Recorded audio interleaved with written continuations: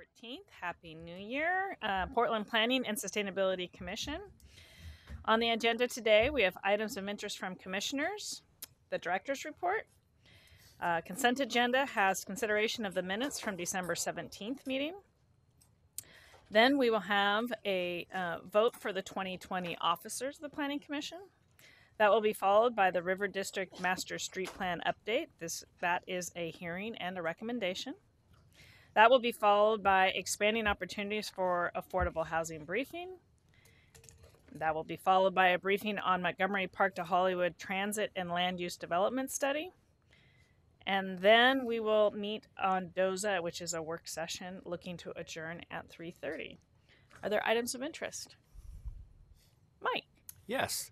Um, I sent a note out to PSC members and staff um, that we uh, we have a upcoming um, briefing and work session and, and eventually hearing on South Reach, which is the area of the river from South Waterfront south to near where you live, um, Elk Rock Island.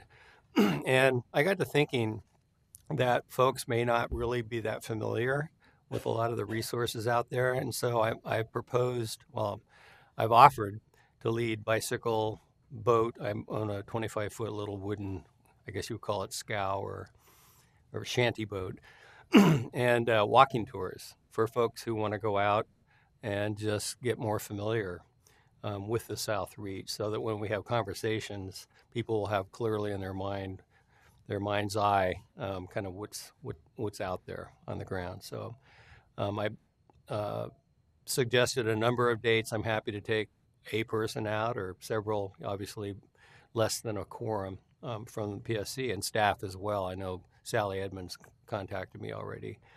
So I'll just give you a heads up. I don't know if you all got, got that, but I sent it um, in an email to you all. Thanks for doing that. That's a treat. It's appreciated. Any other items of interest? No.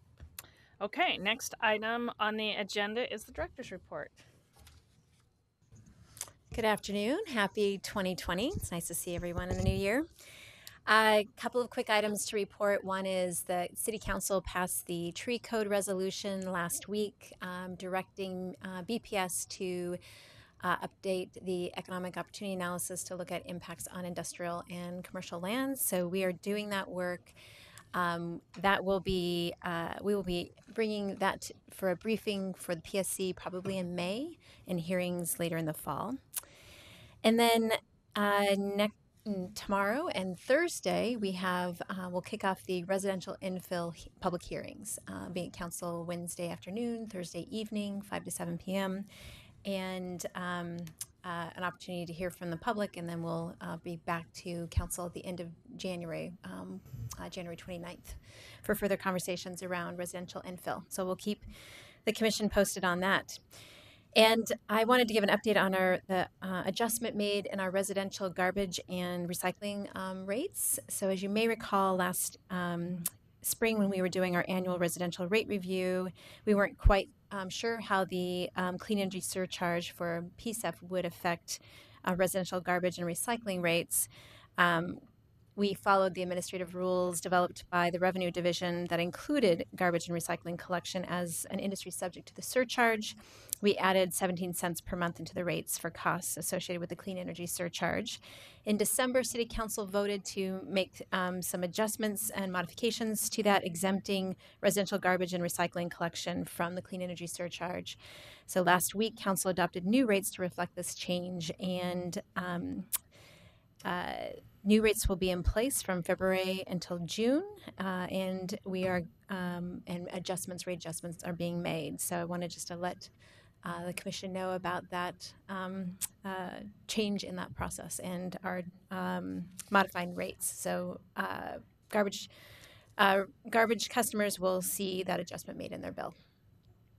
And um, because we have the election today, I wanted to take a moment to thank Kat for her leadership on um, the uh, as commission chair, and really have been very grateful to work with you in my short time here in this position so far, and have been really impressed by the role that you've played. Um, all of you as public servants contribute so much, and uh, the chair um, plays a particular role and, and contributes quite a bit um, and is often the person representing the commission in front of council. And you've just done a superb job. So I just wanted to take a moment to appreciate you and thank you for your leadership. Thank you. That um, it's it's been an honor, and you guys are an amazing group to work with. I've said it from the day I joined the commission. Well, maybe not the day I joined the commission. Once I kind of got to understand what the commission was all about and got to know all you better, um, I've just felt so fortunate to be a part of this group, and so I appreciate you guys all bearing with me. I've had my mistakes and fumbling moments, and done my best, and you guys have been a good group to to work with. So thank you. Yes, Jeff. Uh, well, I was going to save my congrat- congratulatory remarks for after we actually vote, but uh, thank you. But I want to go back to one thing in, in the director's report about RIP. And can we get just sort of an update of what's being proposed? I've read a couple of articles where council members are suggesting various amendments. Is, is there, are they sort of on the table for the hearing tomorrow, or just sort of what's going on with the proposals? Abso- Absolutely. No, what we're um, what's being considered is what the PSC has recommended to the um, City Council. Uh, the hearing over the next two days will be an opportunity to gather more amendments. We will bring the first package of amendments um, to the January 29th um, council session. And from the hearing over the next two days, there may, may be additional amendments, in which case we will bring those, that package of amendments in um, early February. And can, can we get copies of what you're, am I on? Of- Of what staff is preparing for council, just so we can kind of be on top of what's, what's up? Our PowerPoint. Yeah, or is, oh, it'll be a PowerPoint, it'll be written amendments? We, w- um, you can, we're happy to share that when we bring that to council on the 29th. Okay, Yes. thanks. Yeah, happy to do that. Great. Any, um, I guess next uh, item on the agenda is the consent agenda. So consideration of the minutes from December 17th meeting. Do I have a motion? Move adoption. Second? Thank you. All in favor? Aye. Anybody opposed? No opposed, so that passes. We're just moving it along. okay, next item is um, our vote for the 2020 officers. Do we have anybody who wants to make a motion on a slate? Madam Chair. Uh, First, I want to say it- it's been my honor to serve as your vice chair for the last four years, and I appreciate the commission allowing me to do that. And uh, during that whole term, I've been partnered with Kat as our chair, and I want to add my thanks to her excellent job chairing the commission for four years. So I would like to move a slate consisting of uh, Eli Spivak for uh, chair, uh, for vice chairs, Kat Schultz, to continue in the leadership of the commission, uh, and Steph Routh. Um, so just to say a little bit about that, um, you know, Eli has been a vice chair uh, for the last little bit, so we have both continuity with the, the current leadership and experience running meetings and dealing with the officers briefing, those sort of things. And you know, continuity has been one of the important values in selecting an officer slate. And similarly, uh, Kat kind of taking the emeritus role and, and the officer group to help with the transition. We appreciate that. Uh, Andre did a similar thing when he stepped down as chair. Uh, and then with Steph, um, you know, Steph has only been on the commission very briefly, uh, but I've known her for a long, long time and have watched her in various leadership positions from, uh, you know, organizing a national conference here in Portland to setting up a nonprofit that was the umbrella for a bunch of advocacy organizations to uh, good work for city bureaus, uh, both this bureau and other bureaus in the city, uh, and most recently uh, running the Portland Underground Graduate School. So I am confident that Steph will bring her considerable leadership role skills to this slate. Thank you. Do I have a second for that slate? That motion? Well, thank you, Katie. Any discussion regarding that? okay. Of course. I just want to um, thank you. Um, I'm terrified uh, uh, and feel my newness, and so I'm I'm really grateful to this commission for uh, uh, really bringing uh, the new folks along very quickly on some nuanced projects. So I'm I'm just grateful to everyone. Go ahead, Eli. if I can get my oh up working. Thank you. Well, it would be an honor to serve. Um, it would be a I've climbed a big learning curve, and I know that you're climbing it too. All of us are. Um, and I got to say, for Kat, um, when I joined this commission and you were chair, um, there was a sort of a I had to get family permission to keep serving on a commission like this with this much time commitment. And that relies on a group, the whole officers and staff, that really makes our time worthwhile. And we get to grapple with real decisions. And you ran a damn good meeting. And I've almost I've yanked myself from a panel because this wasn't well managed. So I think that that's something that I hope we keep going on. It takes the officers' meetings, it takes the staff support um, to make sure we use our time well, especially with an unwieldy group of 11 folks with strong opinions. Um, and you've done an awesome job of that. And so I hope I can keep that going. Thank you. That's sweet. What was that, Mike? Strong opinions. I, I was I, I was reacting to the unwieldy group. well, right. It was a double hit. no, I do we all both get might to, be true. we, we, we could chase a lot more squirrels than we do. do we all get to weigh in? Because I just want to say, Kat, you've been a wonderful. I mean, I think you've been. I believe you've been the chair the whole time I've been on. Because the first year I didn't even know what was going on, so I wouldn't even have known who was the chair. But um, no, I appreciate um, your leadership, and I know how hard it is to run meetings. It's just hard to run meetings, and then to have them go as smoothly as they have, it's been great. And you, you, ha- you're friendly, and you are um, obviously know what you're talking about every time you open your mouth, and I just love that. Um, I, I must fool some people well. well, then that's Poker good. face. well then that's good too so anyway and also the new slate i'm i'm really pleased about too and i, I really like this thing that i i'm just realizing that you do which is um, have a chair and then the chair goes down to the vice chair that i think that makes a lot of sense so i i appreciate that the leadership is well thought out and has been for a while and welcome the two of you you know And So- I'll, I'll second both of those. Yeah. Kat, you've done a great job. Oh, It's thank very you. impressive. And we're, we're lucky to have Eli step in and stuff. So Mm-hmm. very good. Steph and Eli will be fabulous, no doubts. Okay, are we ready to take the roll call on that? Okay, Julie. Okay, back, back. Uh, and I just also want to repeat what I said at our retreat and what Katie and Mike have said. You really have done a great job, and it's not the easiest. I've been chair of other commissions, and they were not as unwieldy as this one, and so you really done, played the role well. So thank you. Thank new officers, and I'm happy to vote aye. Bortolazzo, Yes. Houck. Yes. Larsell. Yes. Quinones, Yes. Routh. I'm really delighted at the prospect of spending a lot more time with you. Yes. Smith. Spivak. Schultz. Yes. It passes unanimously. I was almost like starting my tally here, and I'm like, I think I could probably count out no's if they happen. and well, I know that's why I started my tally. but I think I was going to remember how many no's happened if they did. So, I, again, thank you everybody. It's it's been a it's been a true honor, and um, I'm looking forward to having Eli take the reins. I I have a gavel that was a gift from some people at work, and I meant to bring it today to let you play with it. I was going to have to take it back. um, okay, next item on the agenda is the um, River District Master Street Plan update. This is a hearing and a recommendation. Welcome.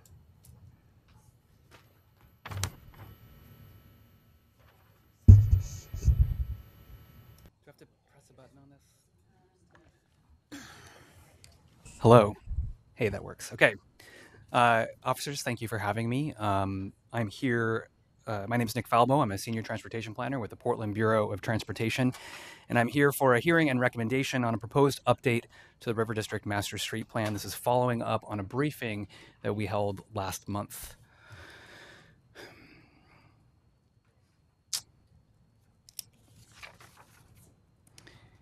The proposed update of the River District Master Street Plan, uh, this is a part of our transportation system plan. It regulates the layout of new streets and pedestrian connections in key areas of our city.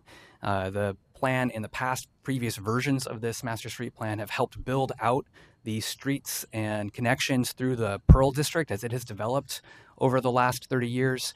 And that area right in the center of the map is uh, the part that's kind of left, the area with the black lines. That's the United States Post Office site, which is undergoing a, a, a long-term uh, master plan process that is now advancing through uh, the Design Commission uh, kind of as we speak. Um,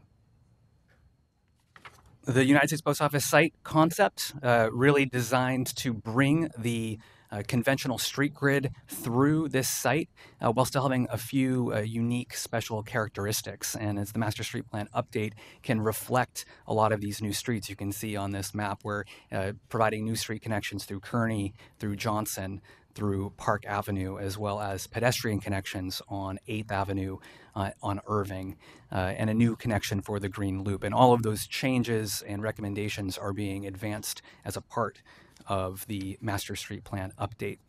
Uh, the existing master street plan you can see on the presentation to the to image to the left. Uh, it has much of these core street grid connections. I think that's, that's been established through the master street plan historically, this idea that we're reestablishing the street grid. But now that we've got a proposal as a part of the master street uh, master plan for the site, uh, we're making a few changes. In a couple cases, we're removing streets. This is the frontage road along Broadway as well as Irving Street through the uh, new expanded North Park blocks uh, and a modification to change uh, what was originally proposed as a pedestrian connection on Kearney into a full street connection.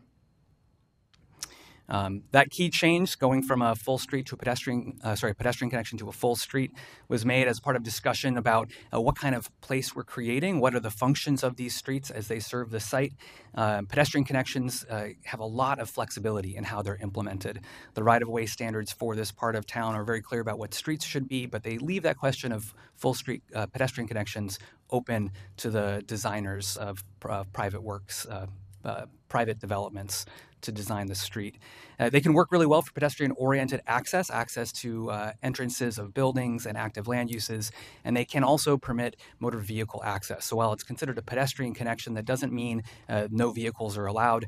Uh, often these take the form of uh, private drive aisles or driveways to enter buildings, uh, but no through motor vehicle travel is allowed as one of the key attributes. Full street connections, though, it's sort of the opposite of that in the sense that if vehicles have full access and um, the design of the street is much more uh, traditional and typical. You really know what you're going to get when you ask for a full street. Uh, in the USPS site, on Kearney in particular, um, one of the things they've tried to do is make Johnson Street the main street for the site. And to do that, that means no driveways, uh, no garage access on Johnson Street. It's supposed to be a very heavy pedestrian environment. And what that means is that other streets start to have to serve that purpose. Uh, so Kearney Street becomes one of the most uh, heavy vehicular access streets to get to garages to serve these uh, 14 acres of new buildings.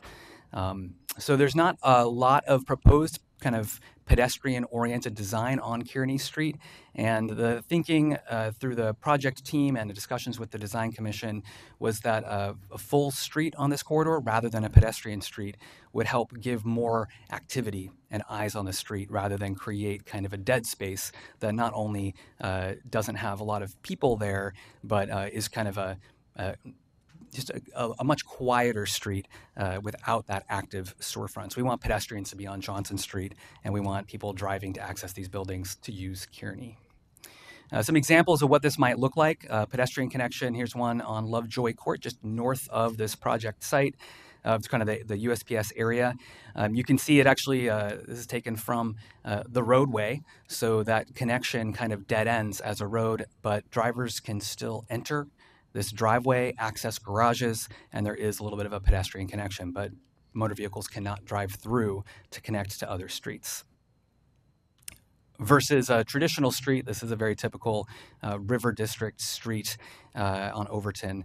Uh, motor vehicle access is allowed, it's designed for, and there is a more of a traditional sidewalk access for pedestrians. So the pedestrian experience isn't necessarily degraded, but it, it does uh, offer a, a more typical street experience. Uh, at the briefing, there was a uh, request for more clarity on how these connections uh, worked in a dimensional way. So uh, I've created this diagram to help illustrate that. Um, you can see the street connections of Kearney and Johnson both connect to Station Way, which travels under the Broadway Viaduct, so there is street circulation connectivity to Union Station. Uh, the other streets are at grade with Park and uh, 8th as a pedestrian connection between Johnson and Kearney, and then this green path represents sort of a, the green loop, which has a structure that would rise over Johnson Street, uh, cross over Kearney, and connect to the Broadway Bridge. Uh, and this is meant to kind of illustrate what that 2D map might look like in more of a dimensional 3D environment.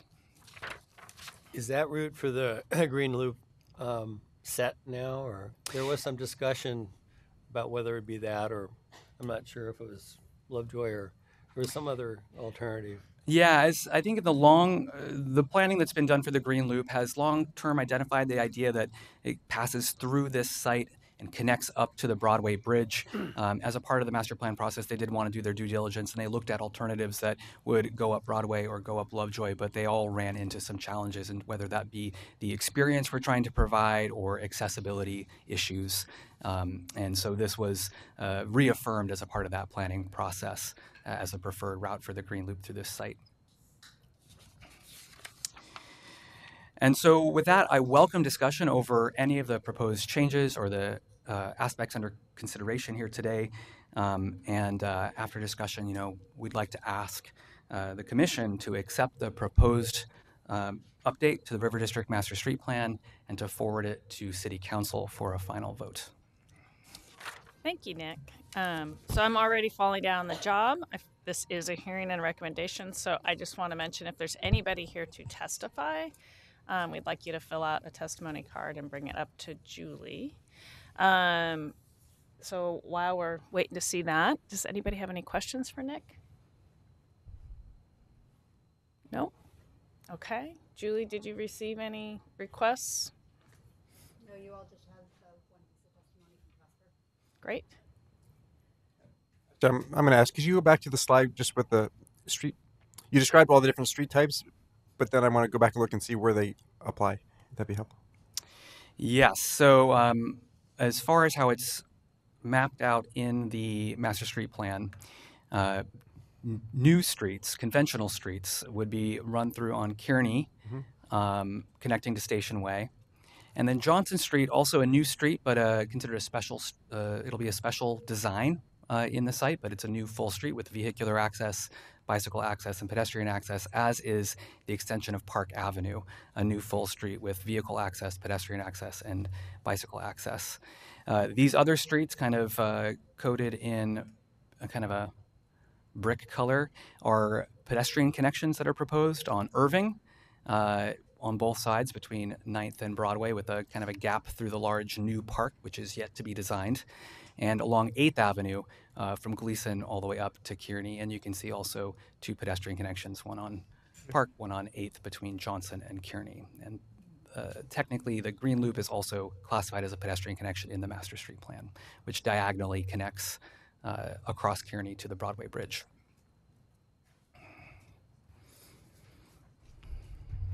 Okay, going to ask one more time. Is there anybody here to testify?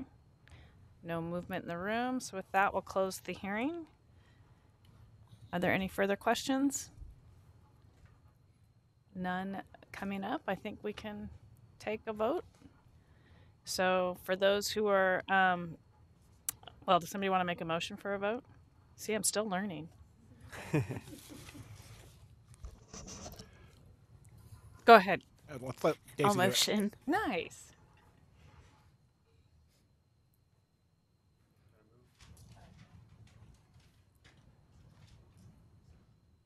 Say what you're motioning for. So To approve. approve um, what is in front of us. So we have a motion on the table to approve the um, River District Master Street Plan, plan as updated. Do we have a second? I'll second. Thank you, Daisy and Eli. Any further discussion? Okay, now we can take the roll.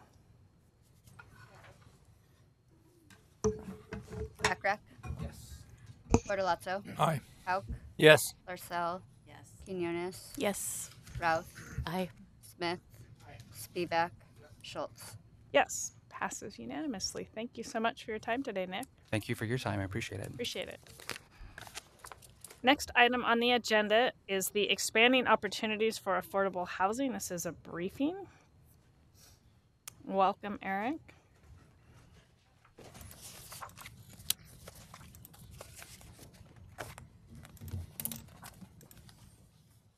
I'm going to pass around copies of the plan if anyone wants paper. If you don't, just feel free to pass it back along. I guess I'll take it disclosures at this point. Um, I have been in conversations. This is not a real conflict of interest, but I wanted to disclose that I've in the past been in conversations with one church in my neighborhood. Um, there's nothing active there, and I feel I can participate in this project. However, the zone specific, specific zone changes, I might ask to bow out of that vote on that property. And I'll make a similar disclosure. I represent a uh, a church on the east side that has an application, land use application pending to do pretty much what this plan would allow for. They've already submitted, so this will not have a direct bearing on them. And I, so I, I, as with Eli, I don't think it rises to even a potential conflict. If something changes, and it does, I would restate my conflict risk. So just a heads up. And I think it also gives me some benefit because I've gone through a process and see exactly what we're trying to fix with this package of amendments. All right. Uh, good afternoon. My name is Eric Engstrom with the Bureau of Planning and Sustainability. Um, and I'm here to talk about the Expanding Opportunities for Affordable Housing project. Uh, this is, I want to start by thanking Metro. This is a Metro funded uh, project uh, grant. Um, and the, the purpose of it was to look at um, community mission based organizations that have land resources and an interest in development of affordable housing and see what we could do to identify barriers to that, um, including uh, capacity, expertise, financial barriers, regulatory barriers. Um, and uh, what I'm bringing you today is a, is a proposal to streamline some regulatory barriers. The grant overall um, had a wider discussion of some of the other barriers, and I'll, I'll go through that briefly. Um, want to thank uh, Nan Stark, who has been the staff person on this project. She's out this week, so I'm the one giving the presentation, but she did most of the work. Um, so um, I just said some of those things. Um, the project involved um, some case studies of three different organizations to look at design and feasibility analysis and financial plans for uh, potential housing on their sites. Um, Carlton Hart Architecture and the Nielsen Group provided consulting services. Um, Ecumenical Ministries of Oregon was a grant partner in this and um, helped manage some community events and networking opportunities. Um, there was also a technical advisory committee, including BDS, Housing, Prosper Portland, BES, and PBOT. I want to thank them for their uh, assistance on this. Uh, this, the three organizations receiving services through the case studies included the Mus- Muslim Community Center, Bethel AME Economic Development Corporation, and Trinity Lutheran. So, as I mentioned, um, the idea behind this grant was to look at barriers uh, that community organizations with land might face when they're doing uh, trying to move forward on an affordable housing project. Some potential barriers included the the pre-development costs and and and uh, issue identification, the land use review process, the permitting process, uh, and then finally infrastructure requirements and associated costs.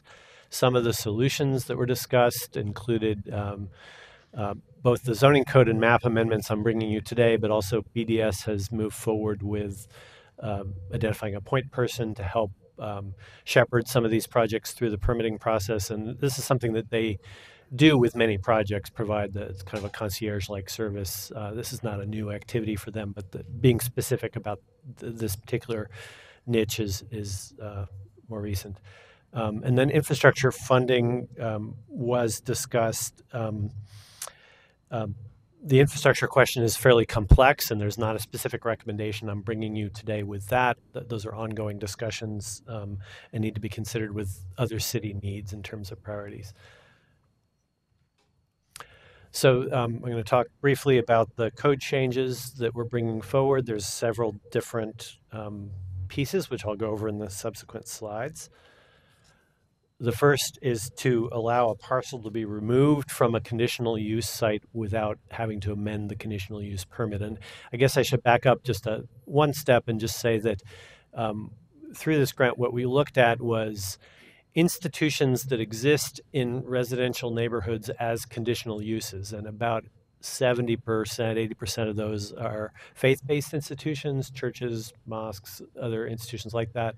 Um, there are some uh, other types of institutions in that mix, like uh, fraternal organizations, some private schools um, that show up in that when you look at the whole universe of that. Um, so this is not strictly the faith-based institutions that this code is about. It, it includes them because they happen to be a subset of that.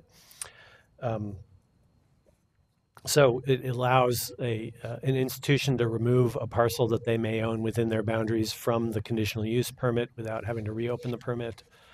Um, it allows housing to be added to the site meeting the base zone standards uh, without amending that existing permit. And again, these are in zones that allow housing by right, but because these institutions are conditional uses, current code requires them to amend their permit, whatever they do, even if it's housing. So this would this would um, streamline that a little bit. This would allow a slight increase in non-housing floor area before a conditional use amendment is triggered as well. And that's because sometimes these new residential buildings might include non-residential um, institutional uses, maybe on the ground floor, like a meeting room or something. And so a little more flexibility with that square footage was seen as a, a helpful thing. Um, for consistency, we're also amending the school sites code um, in the zoning code um, with this. So, Eric, quick question. So, on these these areas, which are typical, that seems like you're typically looking at large parcel areas within residential neighborhoods. Are you? Does a, a new site boundary need to be determined as a part of the process? It's along the lines of um, the parcel boundary, so you could subtract out a parcel through this process, and then that would just be there's, there's not a process; it just would be tracked. Got it. Um, in terms of the housing, it wouldn't necessarily change the boundary of the site. It just allows you to put housing without having to reopen that that review. Cool. So i- if there was a subsequent re- review, we just have to account for that. Um, uh, an issue that's come up with existing code occasionally is how we handle replacement of existing floor area if you're tearing something down and maybe replacing it in place. There- There's, so this is cleaning up a little bit of that. Um, uh, conditional use often uh, requires institutions to maintain their parking, and um, even if a site is close to transit. Um, so, as we've liberalized the parking code in most of the zoning code, it's not unusual for conditional use permits to have parking requirements um, in places where we might not require that in the rest of the code. And so, this allows removal of parking for uh, housing development if the site is near transit. Um, and that's that that's just addressing a, what would probably be a common barrier to to development of these housing if the conditional use permit specified parking. So why aren't we waiving 100%? The uh, I, that I would have to go back and talk with Nan about in the decision making. I wasn't in the room when that happened, but that's a good question. I'll, I'll have to get back to you next bit before the hearing. Thank you. So, just to make sure I'm following it, is it reduce what's in the conditional use agreement by 50%? So, for instance, if you got a church on a lot in a residential neighborhood, they have to have 200 stalls. Are you reducing the 200 stalls by 50%? Or are you reducing the fact that you've now put a housing project here, it's triggering more parking required in that requirement? No, you're you're reducing what's there now, which presumably is there because of previous conditional use requirements. Right. Okay. Um, I should say though that many institutions may have what's called kind of an automatic conditional use, and that they're so old that they predate the zoning code, but they've they're they are given that automatic status because of that. So they may not have had a review, but they may have a certain amount of parking. So it's what what's there today is where the fifty percent is measured. I mean, my, my policy argument would be that anytime I have the choice between storing cars and providing a living unit for people, I'm going to go with the people.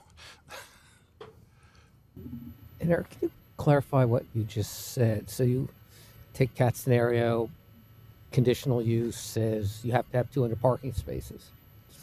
30 year old conditional use. And the church simply does not need 200 parking places anymore. Is there some automatic way they can reduce it without going through a conditional use process? In other Not, words, not or- under current code, no. they, they can go. can Well, there's a one a one space or four percent is the current code, so you can there's a little bit of wiggle room in current code, but and that I think that was written to deal with stormwater upgrades and things. Okay. So they don't have any, they can't accomplish what Chris is trying to say is, hey, 30 years ago, we wanted 200 stalls. Clearly, the code doesn't require anything close to 200 stalls. You don't, Yeah, the the typical way that's accomplished is Mention- as you reopen your conditional Yeah, use right, permit, okay. you would That's- submit a was trying to study that shows you don't need So that you- many okay. spaces, and you're then, still going to have to fall back on a conditional use if you want to have any kind of major. Correct, and this would be allowed. So it wouldn't prevent what Chris is saying. If you wanted to do a conditional use review, you could make that case that you don't need any Gotcha. through that process. This is just the automatic no review Yeah, that, allowance. that's what I didn't understand. Thank you. So, it- and just as a, maybe a little bit more food for thought for everybody on this, I've happened to no longer working on a project, but this was exactly what we were going through the exercise to try to figure out. Um, you know, the other piece to remember though is so again, if you have a very active church um, and you take away all their parking, you may end up with all their parking in the neighborhoods, and so the neighborhoods get a. I mean, I think you know the conditional use. I guess is just a reminder. It's kind of an agreement between the neighborhoods and this organization um, about kind of how to deal with that situation. So it was tricky, at least when we were going through it. So this next provision is that if a conditional use is required, then this limits it to a type two if the proposal includes housing. So in Jeff's scenario where say they decided that they could make the case that they don't need any parking and they want to eliminate all of it and they so they do go through a conditional use permit for the housing, that could be that would only be a type two under this revision. Look, Eli, go ahead. I'm just thinking it might be helpful to get a little context of why this project's in front of us. Um, and I have a little window into it because I don't, it's a pretty wonky area of the zoning code that I never discovered until a year or so ago. But I mean, churches are hurting out there. Sometimes they have a lot of property. They're trying to sell off part of the property, to keep the doors open, and they can't do it because the, under current rules, they have to go through a discretionary conditional use process that could take nine months. Um, and and there may be other and they're philosophically inclined to try and create some public benefit out of the, the, the reluctant land they have to lose. So they've so sometimes affordable housing is a natural way they'd be inclined to make their land available and maybe also um, keep the you know keep the heat on. Um, so And- I don't know if that's a good summary, but Yeah, that's what I've there's. I guess there's a, a, variation on that too, which is some institutions are not give, not selling the land; they're they're building housing in partnership with a, a, a- a community organization that builds housing, like a CDC or something. Um, so it doesn't mean they're selling it off necessarily. So that that was the summary of the code changes. We're also changing the zoning and comprehensive plan designations on 11 sites with this project. And again, these are institutions that um, have been stakeholders in the project and have potential interest in housing. The um, the criteria for selecting these sites uh, included that um, that there was adjacent zoning similar to what the, the, the change is. So we're not creating islands of high density in the middle of, of a different kind of zoning. It's on a corridor or a TSP designated street, uh, so it's close to a major transit or, or corridor.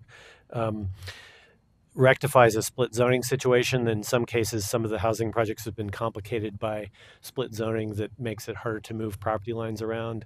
Um, so that's that's a few of these. It's in the ownership of a community-based organization or institution, uh, and creates a pathway for providing community benefits. And in this case, that's primarily affordable housing. What we're talking about.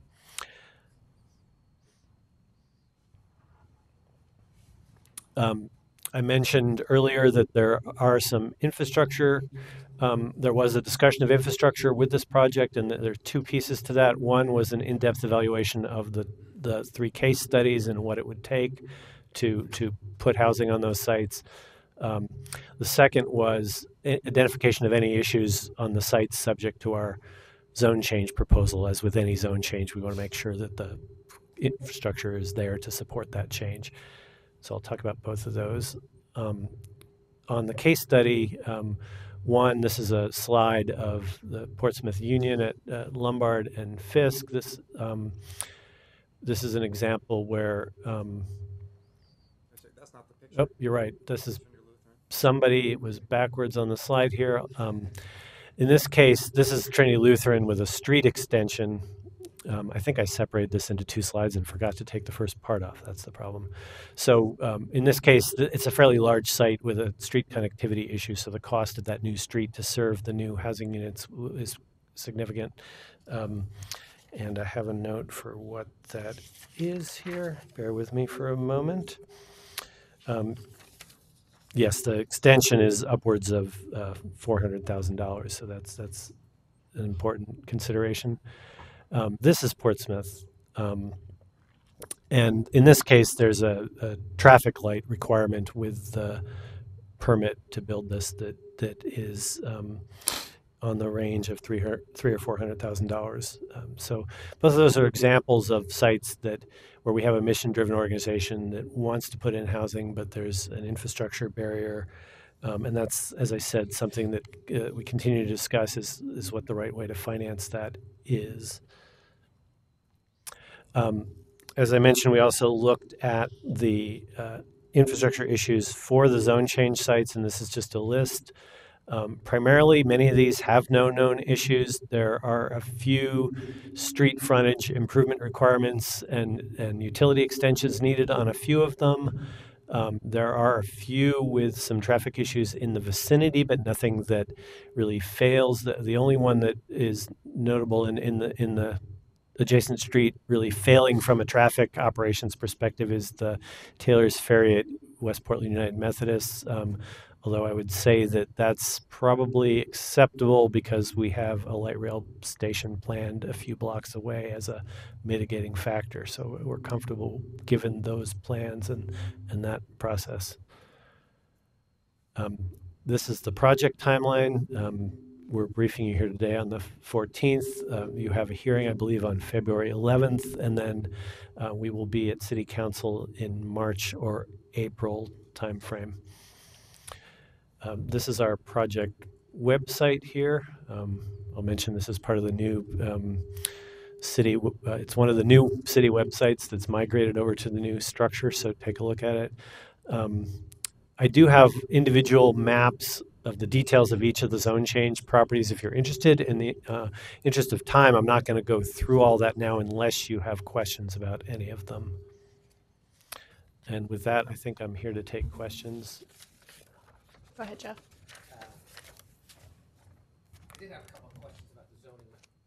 Uh, I did have a couple of questions about the zoning map, but I also had one issue with the whole package. But why don't I just do the two zoning maps. And Eric, I know you may not have been involved in this, so if I may have to come back if I don't know the answer. You know, I just want to point something out, and I'm, I'm not sure how much discussion it warrants, but two, two of the proposed zone changes caught my eye.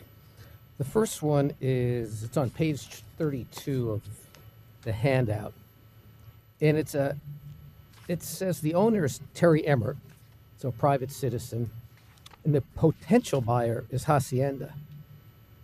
And I'm just curious or wondering what's the scenario where we give a private developer the benefit of a free zone change and there's no deal? Is, do we have some guarantee this is going to end up in the ownership of Hacienda or are we I hope I'm going to assume that's everyone's intent but the way real estate and things work out I'm just wondering what's what's what's the city's protection that that doesn't happen yeah it's our understanding that there's a transaction underway. Um, and I think you raise a, a reasonable question, and uh, um, so we are kind of tracking that transaction. I, I, don't think it's our criteria was not to give zone changes through this project to a private for-profit entity. Right, so, I mean that's what I assume. Um, so I just want to be. We're, sure. I guess I'll just say we're monitoring the pace of that transaction, and um, and what happens, as often happens in real estate transaction, it's just not quite there. And yeah, and we send it on to city council. And it's the day of the hearing, and no one can produce a. Possible that that okay. we would change course on this if that hasn't I, happened. I guess I would might, just I'd want to point that out and hope you monitor it and it doesn't fall through the cracks. I'll I'll add my question to that one. I mean, there's no is a religious institution involved in this or conditional use involved? I'm just wondering how this. A, I'm sure there are lots of sites that would like to be rezoned uh, a community-based organization that's in the process of purchasing the site. Is the Okay. so uh, Haciendas. Sure. Do, do you expect that this list of 11 sites is going to grow? As You may get testimony from other entities. You know, as I said, we had criteria and we screened quite a few. Um, there were many projects that could benefit from the code that I described earlier and didn't necessarily need to be rezoned in order to accomplish what they wanted. So that was another factor. But I would anticipate that you'll get some testimony from institutions that may want to be in the in the list. So, so as we get the request for free zone changes, um, do you have any guidance for screening? Because I guess there's one world of faith-based communities who were maybe the original funding source of this project through Metro, but there's a much bigger world of potential sites where there's a lot of affordable housing money going out the door right now. Where if, if I were one of them, I'd be asking us for a free zone change, and I'm wondering if you, if should we be open to any of those ideas, which this would be an example of, or should we have a narrower real focus?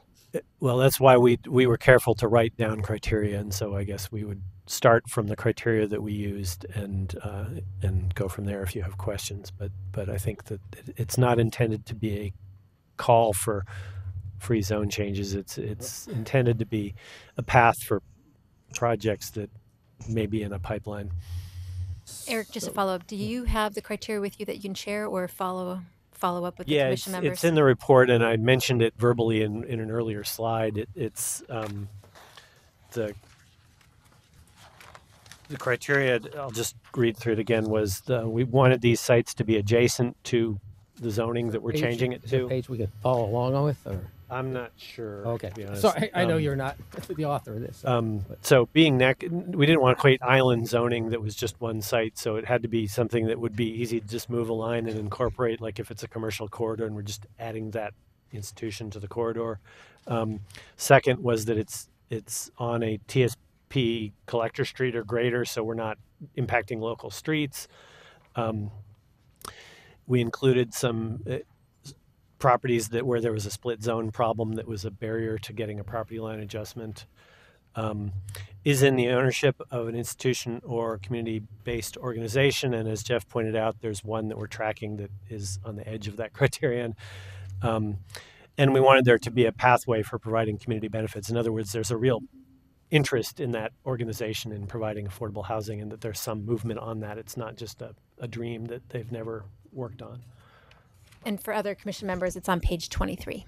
thank you so, you, you, can I follow up? And I should say, I'm, I'm, I'm definitely supportive of getting community benefit out of these agreements. I'm just trying to figure out how big the universe is because I, Yeah. um, th- there's a lot of groups trying to do this kind It's of. It's a good housing. question. A a lot like what we encountered during the comprehensive plan update. When you do a project like this with multiple sites, it's inevitable that someone else is going to raise their hand and make a case. So you should be prepared for that. And I guess last question: Or is everyone aware that these are not really R, R two, R one anymore? They're RM one. Well, they is that being taken into account that we're looking at the new rules? Yeah, we um, started this project and, and we're straddling the adoption of Better Housing by Design. So we started this with the old rules, and a- as you convey your recommendation to council, it would we would recommend that you include a sentence that the intent is that this move to the the new um, structure, uh, and um, as we notify people at the council hearings, we're going to make a note of that in their in their notices that this is revised because of the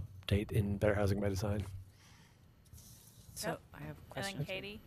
Yeah, I, I, I was just wondering. Um, it to me, it seems like a good idea that if more are found and they're wanting to uh, do this very same thing, that we would we would work them in to the council and we would give them free um, the same deal that that these churches got and other you know other religious organizations.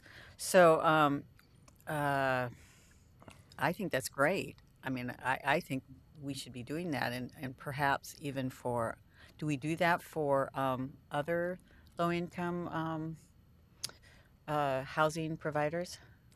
We give them uh, free zoning changes? The uh, well, there's there's two ways to get a zone change. Uh, you can make an application or a comprehensive plan change, you can make an application through the D- Bureau of Development Services, and there's a fee for that. Um, there are some fee reductions pathways available through BDS for land use reviews that is um, are somewhat limited, but but exist. The other way is this is a legislative project where BPS is bundling a group together. Um, there's not a fee for that, and so that you know um, we don't do one of these packages every year. This is a little bit unique because of this grant and the and the specific thing we were targeting, but uh, it's not unusual for when we do a legislative project that involves changing the zoning map that people ask to be included or not included, and, and so that's that's the second. That's what this path. That's what's happening here. Okay, so in other words, this is a one-time deal. Is that what you're trying to say? Yes, this project Yeah. is a one-time project. We don't have a rolling legislative project to collect these kind of I'm wondering if changes. we should. Is what I'm. I'm kind of. That's what I'm kind of putting forth. I'm wondering if we should because um, if I know that churches that there's like some some churches are going to be it's the 80-20 rule they're just going to be right on it. They're going to jump in. They're going to want to build and others are going to take longer. And so there's there's going to be more potential as time goes on. They'll see the successes from other churches and um, and other religious organizations and they'll think that's really great. That's what we should be doing too. And um, so there's going to be uh, you know this this group that are that are already on board they're the ones that are you know ready to roll and they they've got their mission and they're going to go with it.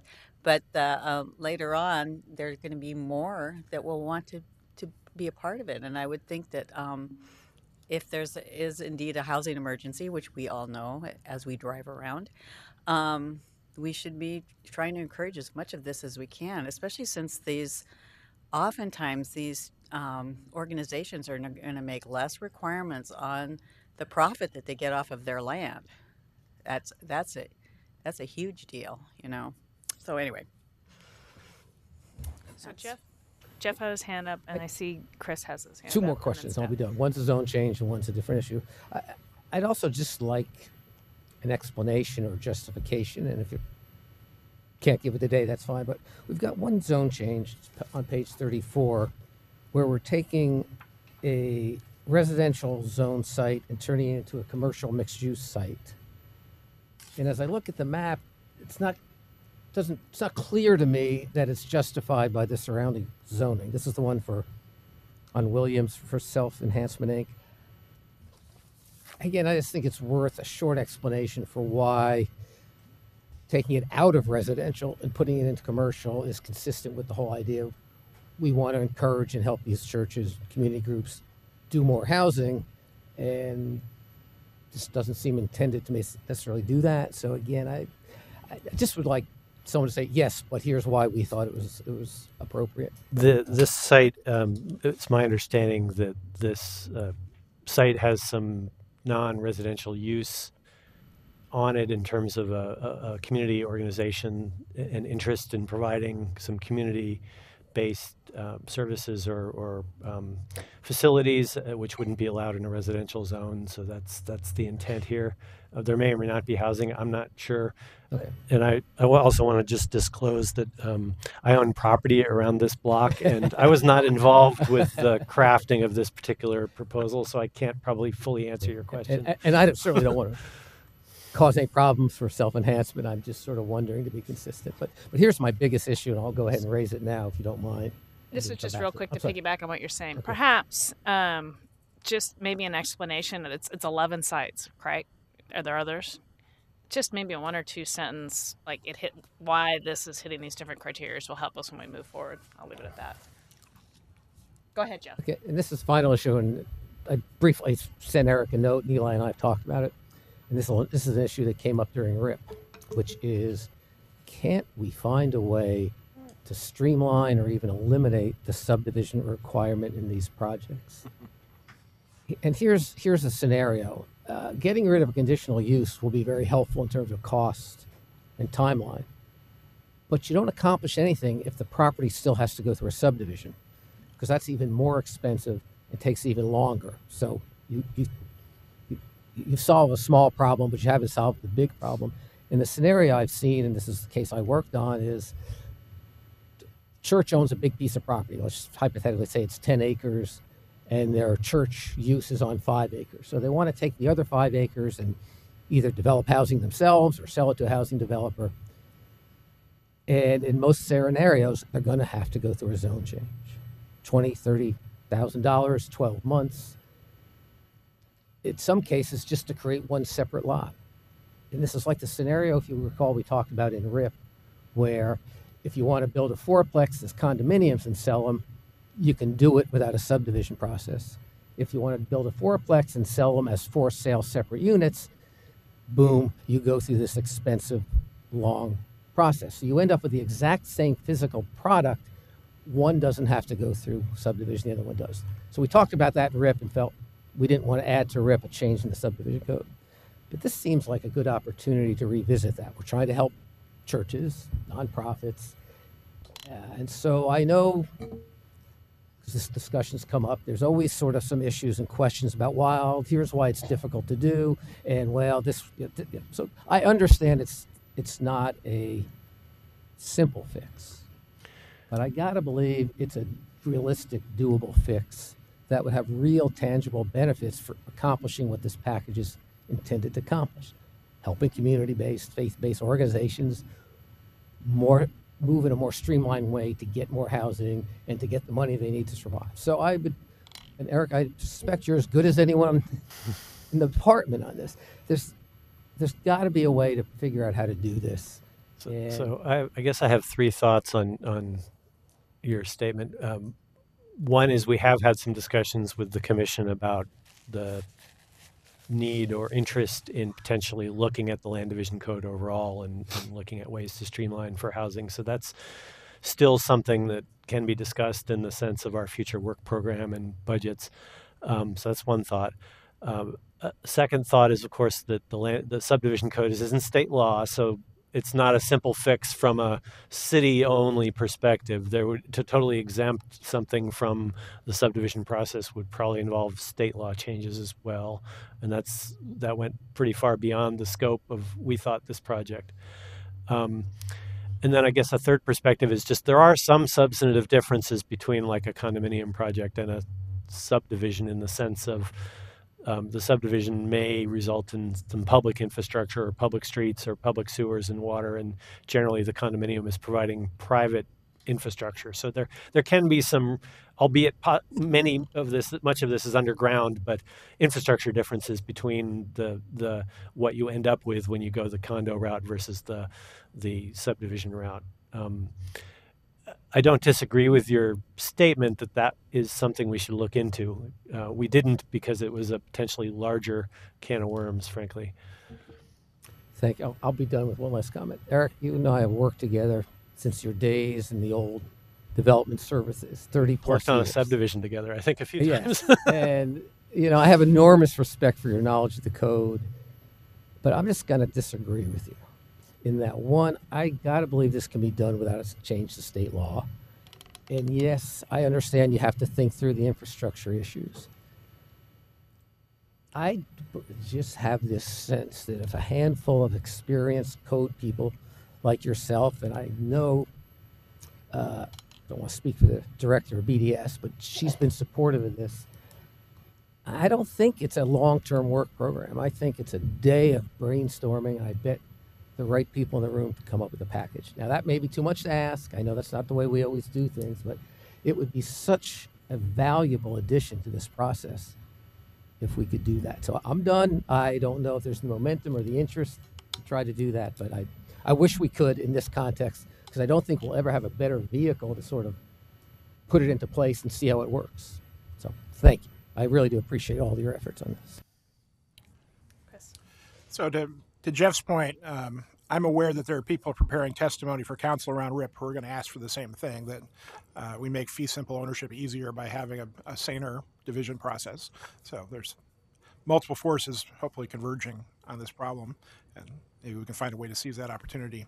Uh, with regard to more churches or institutions coming forward and wanting to take advantage of the rezoning opportunity, let me ask the practical process question if we get written testimony in advance of the hearing for this, making those requests, is staff going to be able to provide us with an analysis of whether they meet the criteria or not? And two, if we get verbal testimony on the day, is staff going to be able to provide us a very quick screening to say whether or not those requests meet the criteria? Uh, Well, without having seen the requests, I'll, I, I'm more solid on your first part in terms of if we if we see a written one, we can probably provide you with some recommendation. Um, if it arrives the day of, depends on the details. Um, we may need a little follow up time to provide a recommendation. Thank you.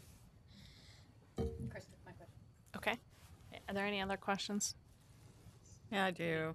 I just um I was I was wondering if there was any um you know we've been dealing with really um, wonderful organizations that are um, thinking in terms of mission.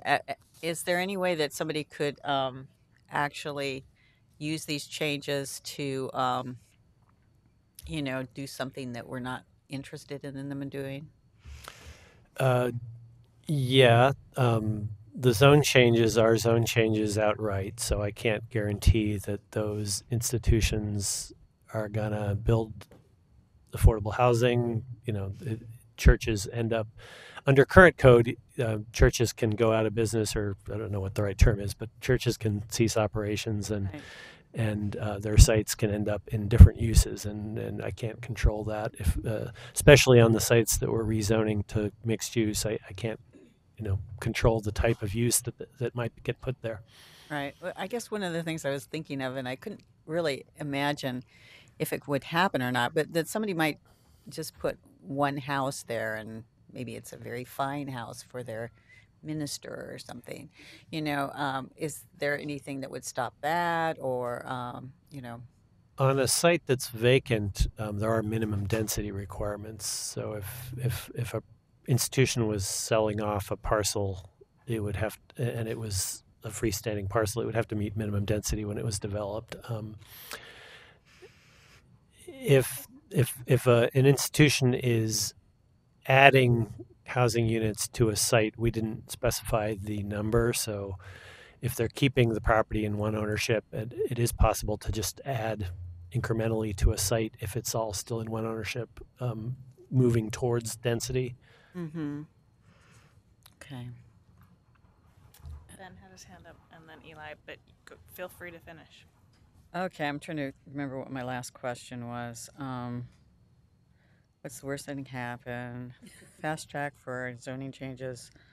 Oh, just um, what is left to do? I mean, it seems like what we're talking about now is the very beginning of the um, journey that these institutions are going to be taking to, uh, you know, finally come up with um, uh, housing finished housing that people can move into. Um, so, do you see other barriers that they're going to run into?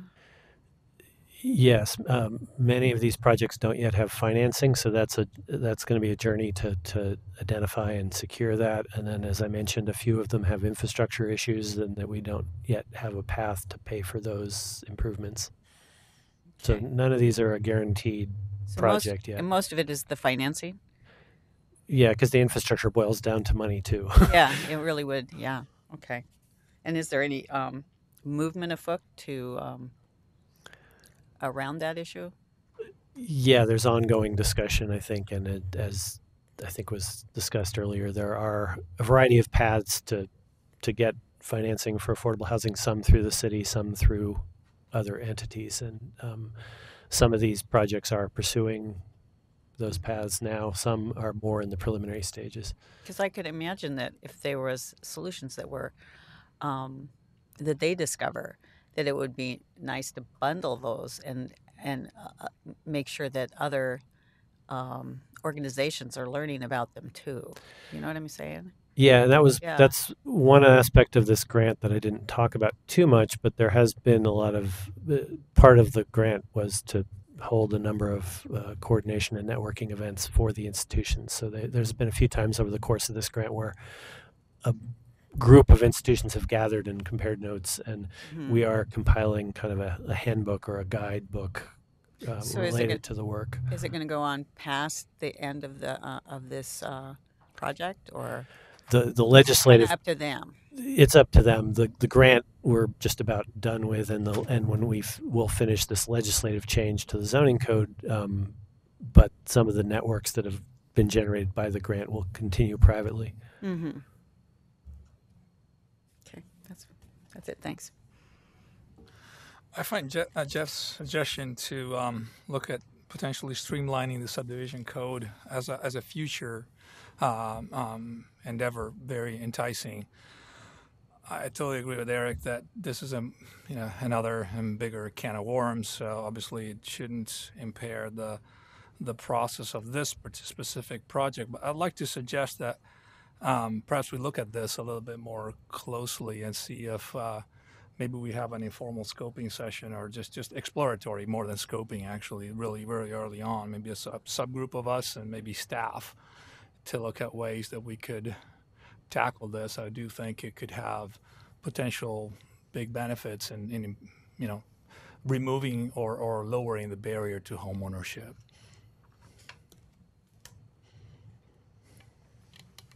Well, I'm going to quickly jump in.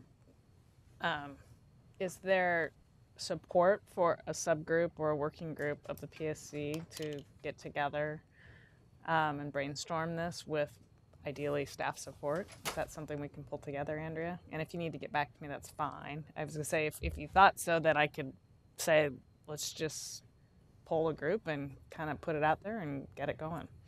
Yeah, I think um, let me let me take it back to the team. Um, it, you know, obviously that that body of work will affect our current body of work, so we would just need to um, look at kind of when that opportunity when that would make sense. So let me let me come go back to the team and then come back to you.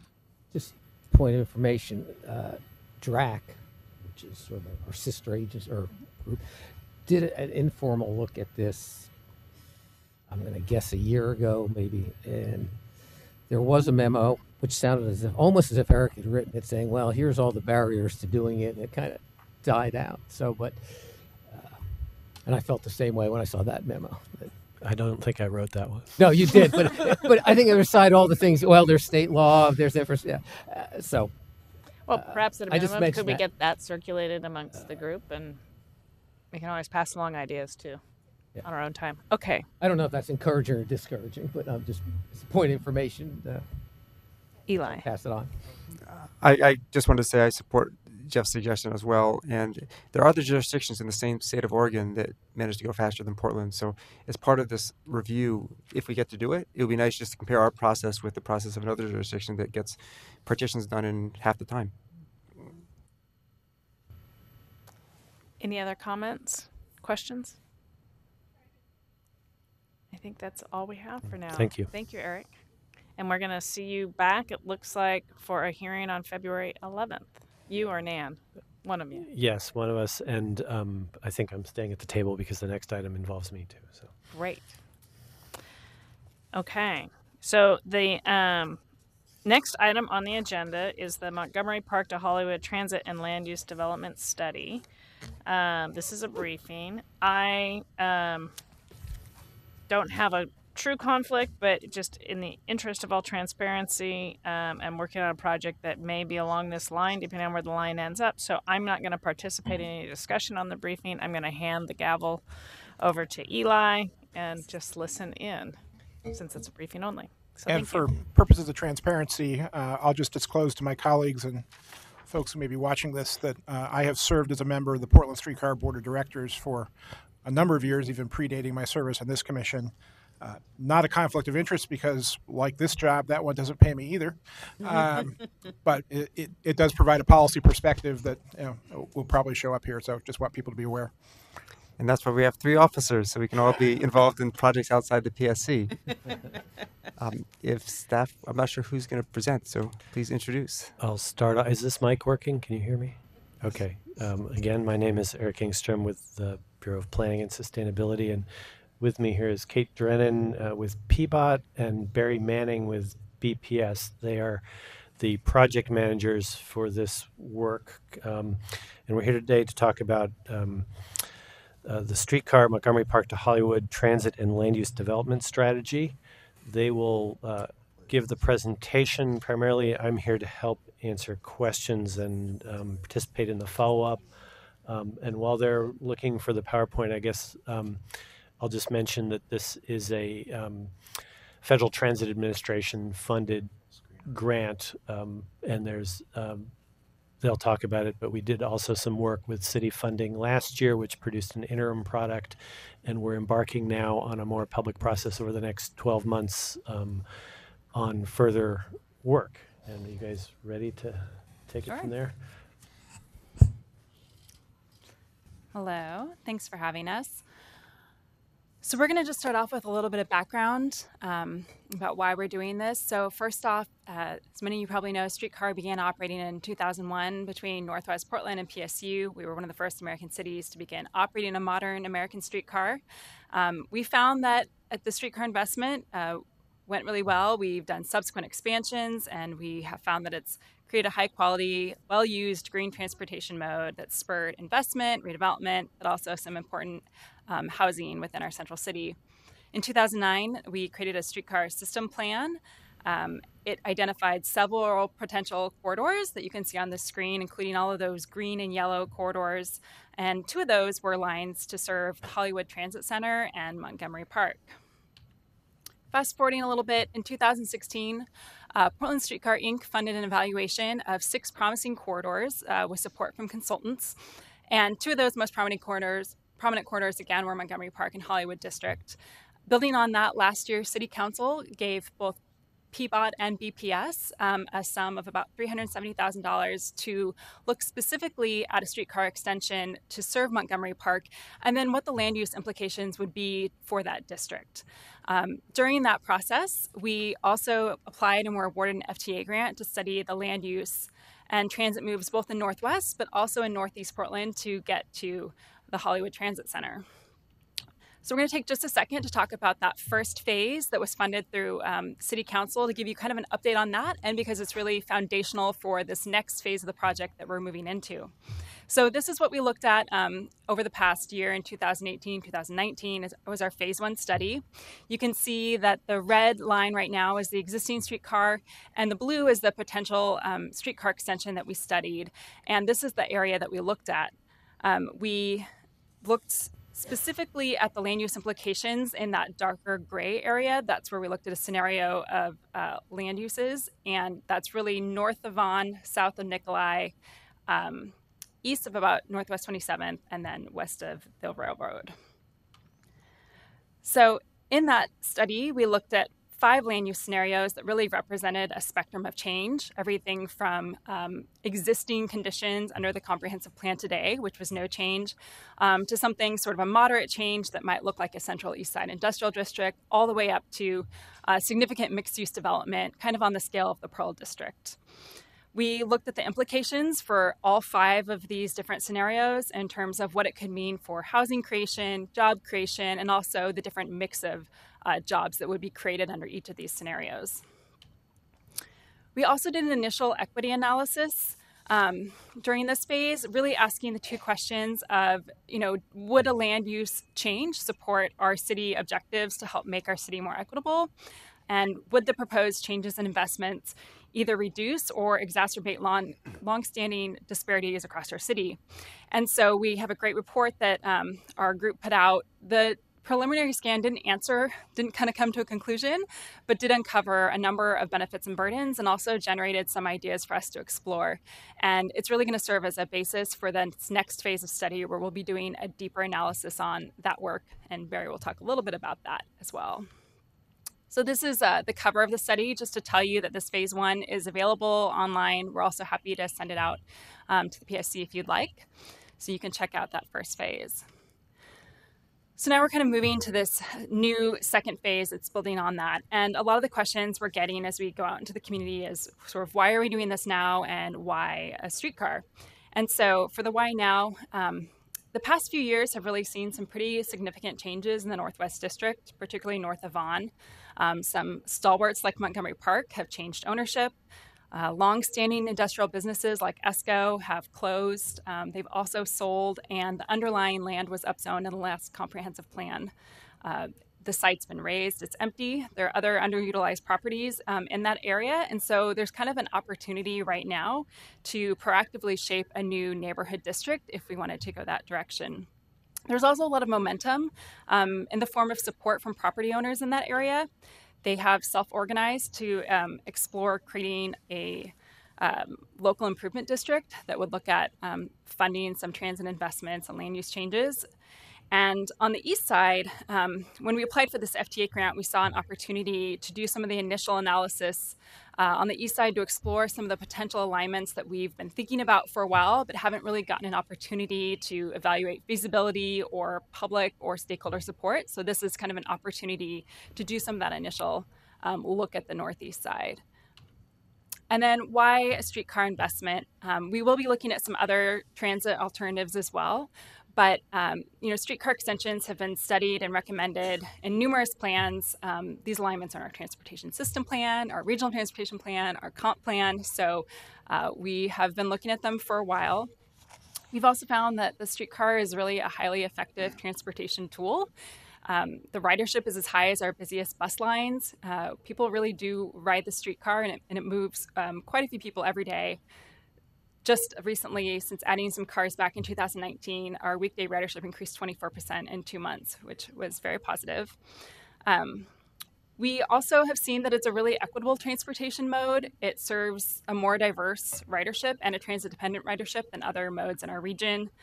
Uh, 35% of riders earn less than 30,000 a year a quarter are use our honored citizen fare. Um, 81% are part of low or no car households.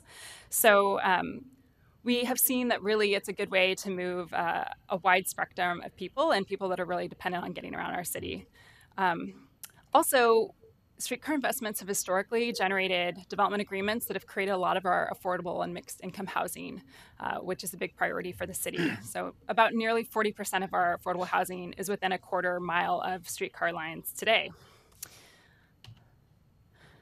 So, as we approach this study, some of the key questions that we're considering is really how would land use changes and transportation investments best complement the goals and policies of the city? You know, do these investments make sense in terms of helping us meet our mode share goals, our goals to reduce single occupant trips, to reduce greenhouse gas emissions, to increase housing choices and affordability, creating dense walkable communities, all these things that as a city we want to do would these investments help us sort of get there? And so I'm going to hand off to my colleague Barry to talk a little more specifically about the elements of this plan. Great. Thanks, Kate. Barry Manning with Planning and Sustainability. So I'm going to walk you through some of the details of the alignment and the study kind of set the groundwork for what we're uh, engaging in right now. So this graphic shows the two areas that we're studying in more detail. And on the left-hand side in beige is the uh, northwest area that Kate described that was the subject of the phase one study. Uh, essentially, the alignment would uh, head off the existing streetcar system up 18th and 19th and come over I 405 and then head out towards Montgomery Park along uh, Northwest Wilson and Northwest York. So that's in this uh, beige area. Uh, represents the study area for the existing conditions report, which we just published and posted on the internet. On the east side, outlined in blue, are three different alternative alignments that we're initially considering for the uh, options to get to Hollywood, Hollywood being out here. Uh, the first one, uh, and these first two were identified in the streetcar system plan, would go out Broadway and Weidler all the way out to Hollywood. Uh, a second one would engage the existing streetcar on uh, Burnside and Couch and then head out Sandy Boulevard all the way to Hollywood. And a third one that's emerged, and there may be others, but this third one would um, come off the existing streetcar line somewhere in the Lloyd district, head up Lloyd Boulevard, across the bridge, across the freeway, and out Irving, hooking up to Sandy, and then ultimately getting to Hollywood in that direction. So those are the three that we're looking at on the east side. And I'll show you a little bit more detail on them uh, in these slides. So on in Northwest, again, this shows you the alignment to get to Montgomery Park. And as Kate said, this goes um, through some areas that are currently um, transitioning. Some of the area is zoned industrial, some of it uh, planned or zoned for employment, and then Montgomery Park planned for mixed use and zoned for that way. But this alignment uh, was selected uh, in prior work amongst several that were considered because it provides potential for hundreds of new jobs and new housing units uh, that could be spurred with the transit investment. It serves this district that currently doesn't have uh, any grid direct transit access, particularly the area between uh, 18th and 19th and Montgomery Park. Um, this alignment, compared to others that traverse the district to get to Montgomery Park through um, routes through Northwest Portland south of Vaughn, um, provides a more direct route to Montgomery Park which can lead to a faster and smoother ride for riders. And importantly, for a streetcar, um, the line garners support from uh, property owners that help support and pay for the streetcar investment. So that's an important factor as well in, in why this line was selected uh, compared to other alternatives that were considered. On the east side, um, I apologize for the somewhat busy map, but the three alignments uh, are again Broadway Weidler in orange here at the top, and you can see where that uh, heads out. Um, Sandy and hooking into Burnside and Couch uh, in green here, and then that Irving alignment coming out of the Lloyd district in yellow here, and then ultimately getting to Sandy Boulevard. And um, we'll talk a little bit about what we're trying to look at in each of these alignments in just a moment here. But before we get into that, I do want to show you the zoning map for uh, both of these areas so that you get a sense of what the lay of the land is. So, first in Northwest, um, the area that along 18th and 19th is largely zoned for mixed use development. That was done in the recent comprehensive plan. Uh, largely CM3 zoning in that area, if you recall, which is one of the most intense uh, non central city mixed use zones. There's a little bit of uh, employment zoning, EG1, in that alignment as well. As it crosses over I 405, it does enter into uh, some prime industrial area and industrial sanctuary areas uh, that are zoned IG1 currently, and the line heading out towards Montgomery Park, which I'm outlining with the mouse here, um, is IG1 zoning all the way out to uh, close to Montgomery Park, where it transitions to um, EG employment zoning, and then um, the mixed employment zone that's uh, I'm sorry, central employment zone that's applied to Montgomery Park. So the zoning in this area will be a big question as part of this study to determine what the appropriate type of zoning should be in this area and whether streetcars should serve that area. Uh, and it's kind of an iterative question, so we'll be looking at that in detail. On the east side, um, these lines um, all have mixed use zoning. Uh, the Broadway Weidler line comes through the central city, and this dark reddish magenta area is um, mostly CX zoning, and it transitions to a mixed use uh, CM2 zoning primarily all the way out to Hollywood until it gets to this reddish area, which is zone CM3, a very intense mixed use zone. Along Sandy, again, EX central employment zoning along Burnside and Couch for the most part, and then out Sandy uh, in the CM3 zone, which was applied during the comp plan. And then finally, the Irving alignment is an interesting one, uh, running through an area that had been at one point in time a former uh, light industrial mixed use area that we rezoned uh, many years ago to uh, accommodate more of a mix of uses. And it really is evolving into a very mixed use area currently, but has a combination of central employment zones, CM3 zoning, and some higher density residential zoning in that area as well. So, an interesting combination of zones in that area. So, some of the outcomes we're hoping to achieve in the uh, Montgomery Park to Hollywood project uh, on, are they're different. I should say on the west side versus the east side. The west side is further along, as uh, Kate has explained. We've done the preliminary phase one study. So on the west side, we're really trying to evaluate whether or not the land use should be changed or or how should it change to accommodate a transit investment. So we're looking at urban design and key development opportunity sites on that area, on that side. We're looking at developing an equitable development strategy, looking at what kinds of uh, benefits that might be uh, uh, bestowed, public benefits that might accrue if there was a zone change or some kind of a change in use, affordable housing, affordable commercial space, or some other kind of community benefit that could accrue as part of that change. Uh, we are looking at comprehensive plan and zoning changes. Are they appropriate? How do we offset the change in industrial use if that seems appropriate? And we're looking at complementary transportation plan uh, improvements to complement the land use, whatever that ends up being. On the east side, we're really looking, as Kate said earlier, to figure out whether or not one of these alignments makes more sense than the other one for a future streetcar in that area. So we'll be looking at the trade offs um, issues of zoning, whether there would need to be changes in zoning to accommodate a streetcar, uh, whether the lot depths are sufficient for redevelopment that's typically associated with that kind of uh, transit investment, things of that nature. But no zoning changes likely to be proposed at the time of the adoption. I'm sorry, at the time of proposal. So the elements that we're looking at here, um, and this uh, relates to the um, FTA grant, we have a community outreach and engagement plan that we've recently developed and are we've scoped that out and are initiating some of the work on that. Right now, we're doing some information sharing with local associations, business associations, neighborhood associations. We've got a website. Um, we, we're going to have larger community workshops at key milestones, but a key element here is that we're doing some targeted outreach to underserved groups. Uh, we have about $50,000 uh, allocated in the FTA grant, uh, sorry, $45,000 allocated in the FTA grant to contract with community-based organizations to do a little bit uh, more in-depth reach to communities that might be impacted by a, a change such as this. Uh, we've identified several of those groups initially, and we're reaching out to contract with organizations to, to help us engage those communities. We're planning a sounding board for the Northwest area since we're looking at more detailed work, so we're recruiting for them right now. And then ultimately, we will come back to the PSC and City Council if there's a proposal for any kind of land use changes. So that will happen um, sometime in December or January of 2020, 2021. As I said, we've just published the existing conditions report.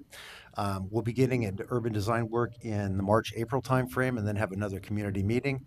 And then um, as the process rolls on, we expect to have a discussion draft for land use alternatives in the uh, early fall timeframe. And then again, uh, transportation would follow on that. And then we'd be coming to you for uh, public hearings and more, more information.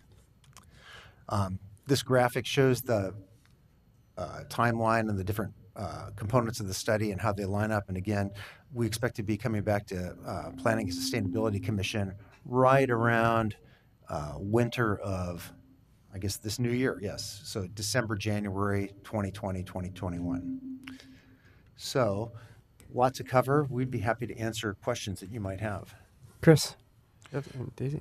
So let me try and frame up some big picture questions.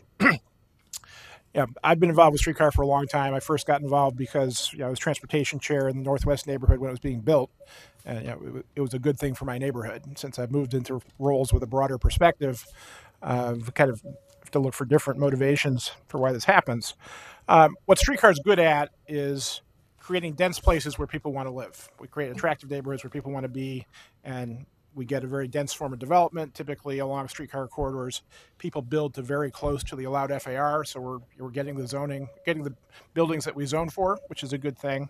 Um, the first two lines, I, I, can see very clear alignment with city strategy. So with the uh, the first line, it was basically you know, build out the neighborhoods in the Pearl and South Waterfront. So it supported a central city development strategy. We went across the river and we helped also support Central City development on the other side of the river and creating the loop. Um, really strong alignment. I'm struggling a little bit here uh, on what how this corresponds to our existing goals uh, or what opportunities it presents. Um, you know, this would be essentially expanding an inner ring neighborhood. Right, Northwest is already a, uh, a town center um, in our planning, so this would kind of grow the Northwest Town Center a little bit. And I'm interested as we explore this to figure out the trade offs between drawing development there versus letting development happen in other inner ring neighborhoods. So are we stealing development from somewhere else to put it here? Um, you know, streetcar as a mechanism is really responsive to property owners who say they're willing to help pay for the line, right? People raise their hand and say, we're, we're willing to form an LID. Streetcar gets very enthusiastic about that. And, and that condition exists in uh, you know in the former ESCO area. Um, doesn't necessarily exist on any of the routes that you've outlined to Hollywood. Uh, you know, I think the Hollywood line would be more about making development happen in existing inner ring neighborhoods. Um, so they're, in my mind, they're kind of two different beasts. But then the other aspects are, you know, what does this do for our housing strategy? Um, if we go to Northwest, you know, we're going to make money for some property owners, and the question is, can we recapture a decent portion of that and put it into housing? So, uh, as we, if we go that route, do we have a value capture strategy that'll work? I think if we reflect on streetcar, you know, very successful creating affordable housing in the Pearl, um, not so successful in uh, South Waterfront. Open question on the east side as things are kind of you know, evolving more slowly, but we can begin to see uh, housing there. Uh, how much of it is affordable is still an open question. So I'd want to see a really strong plan for how, if we go the housing route in that area. And I, uh, I do want to say that clearly the ESCO area is changing. We've got you know, changing use with ESCO departing. We've got a change in ownership there. So we, we definitely need to be thinking about what should happen to that area because it's going to change and we can be part of planning that change or we just let it happen in the market. Uh, I'm all in favor of us being involved from a planning point of view, but um, you know, do we think that's a housing center? And if so, how do we make sure it's got plenty of affordable housing? So those are the things swirling in my mind. I'll just uh, try to respond. Um, Chris, I think you've correctly defined or, or, identified sort of the meta question of the project, and this is essentially what we're trying to study and come to a conclusion on. Um, streetcar has been a tool historically and in other cities around the country of um, it's not not seen really purely as a transportation investment. It's really about shaping neighborhoods, and it's a package between the transportation and the housing that tends the, the private sector um, is willing to build along the line. Um, and there's a synergy there that, that, that was South Waterfront, that was the, the River District, Pearl District, um, and to some extent Conway that continues that tradition. Um, so it's really about um, a decision and, and stepping back to the comprehensive plan. We have a centers and corridors strategy, but with significant central city growth still planned. Um, if you if you step back to the, the urban design diagram in the central city, there is the central city being the largest hub, but there was also an inner ring. I think you used the term, but the on the urban design diagram, there was a, an identification of the neighborhoods surrounding the central city with some unique goals for those neighborhoods because we know that um, growth in very close proximity to the central city has a b- bunch of benefits in terms of walkability to the central city and density that make it a low carbon choice. Um, the central city development has the lowest footprint in terms of carbon footprint compared to some of the other forms we allow in the in the comp plan. So the the streetcar question is really about how do we grow the central city over the next 20 to 50 years, and where do we want to have that growth be targeted um, as, as, South Waterfront and the River District build out? Um, the, as you mentioned, I think the East Side Loop is stimulating further work in the Lloyd Center and and and uh, uh, OMSI and, and Grand MLK corridors. Um, the so it's not really a question of you know how, what's the best transit to get someone to Montgomery Park. It's it's what what route would have the most benefit in terms of creating a neighborhood that helps us meet our various goals, and, and that's the same on the east side. It's not so much if you want to take a train to Hollywood, you would go on the Max. The the um, the streetcar is more about the route that it takes and what might happen along that route, whether it's Broadway Weidler or Sandy or Irving, um, which of those is best positioned to take on the role of a new central city or central city adjacent neighborhood um, in terms of, of housing and jobs. And um, so it's evaluating those choices and i, I think you it, it is a legitimate question we have a certain amount of growth that we're expecting over 20 years and and, and we have to decide where we want to push that growth and um, so this this project helps us have that discussion at least in terms of the near central city growth um, I don't have an answer to the questions you pose because that's what we're studying in the project, but but that's the meta question, I think. Okay, let's go to Daisy and then Ben. If anyone else, let me know, and then Steph. Hi. Kate is one of my professors. Hi, Kate. um, okay, I have two questions. One is it's really great to hear that um, this will probably or likely spur affordable housing development. On the other side of that, I'm just interested to know if there are any plans to do like a displacement risk analysis of both, you know, residential tenants, but commercial or businesses as well.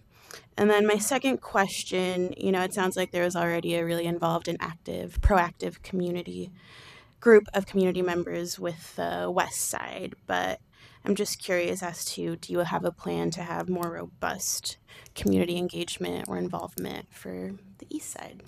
Yep. So I guess I'll take on some of that question. So displacement risk analysis. Um, part of our whole equitable development strategy, I think, needs to look at that. So we haven't scoped that out completely, but they'll be a part of that. You mentioned small business displacement. Um, as part of our community-based our, our engagement with a community-based organization, one of the groups we identified was small businesses, particularly women and minority-owned businesses that might be on streets like Sandy or Broadway that could be potentially impacted. So that's a group that we really want to, at least initially, our goal is to target folks in that community so we can find out more about what their perspectives would be and understand what the the issues and challenges would be with that. So I think the answer to your question is yes, we're looking at both of those things. And more broadly, we're looking at trying to reach out with that uh, grant work to renter populations and particularly low income renter populations, potentially in the Pearl, to understand how those um, communities are, are, are fitting in in areas that frankly, you know, tend to attract, uh, you know, more expensive housing. So how, do, how does that community work together and what are the pluses and minuses for folks that are living along the streetcar. The other group that we're looking to reach out to are potentially uh, workers in industrial districts to understand what the impacts and implications might be, particularly in that northwest area. So that's another group that we're trying to target. Um, your other question was about. Um, sorry, I'm drawing a blank immediately. What was the second part of your question? So the first one was displacement risk analysis, right. and then the second one is around community involvement, oh. community engagement on the community, east side. Yes, on the east side. Sorry for um, drawing a blank there. Um, on the west side, we are doing that sounding board, so a smaller, more focused group. On the east side, our strategy is really to kind of have larger community workshops because the questions are at a higher level. You know, more uh, high planning level uh, sense of whether or not you know one line or another line makes more sense to get to Hollywood and what some of the uh, pros and cons and challenges and opportunities might be amongst those lines. So right now we have three larger public either open house or workshop type events planned, and we're reaching out uh, to those communities on the east side through neighborhood and business associations and trying to build a mailing list. We'll also use our community-based outreach organizations to help try to you know get more outreach into the community but that's that's the level we're targeting right now. Uh, we're also going as i said this month to several different neighborhood and business associations. We'll probably continue to do that over the course of the project.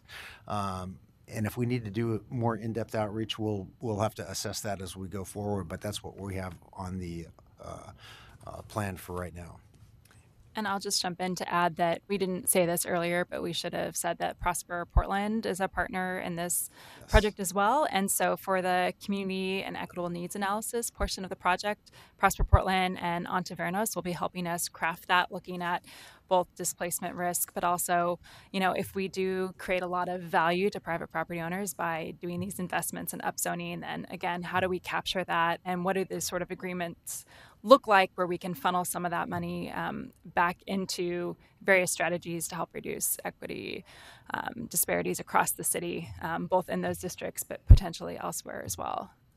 I'll just add that, especially in Northwest Portland, one of the policy trade-off discussion choices here is is that industrial zoning that exists and um, land values are lower in industrially zoned areas, and so if we if we do change that zoning, um, there's potential fivefold change in property value. And so the, the equitable development strategy is, is, to some extent about how that plays out and who how can we capture some of that benefit for things that the public sees as a good thing, um, either on the job side in terms of loss of industrial land supply or on the housing side in terms of affordable housing. Um, and um, and I think that's that's been one of the reasons why nationwide streetcar expansions have tended to gravitate towards industrial land because of that that change in value allows the capturing of, of some of that value.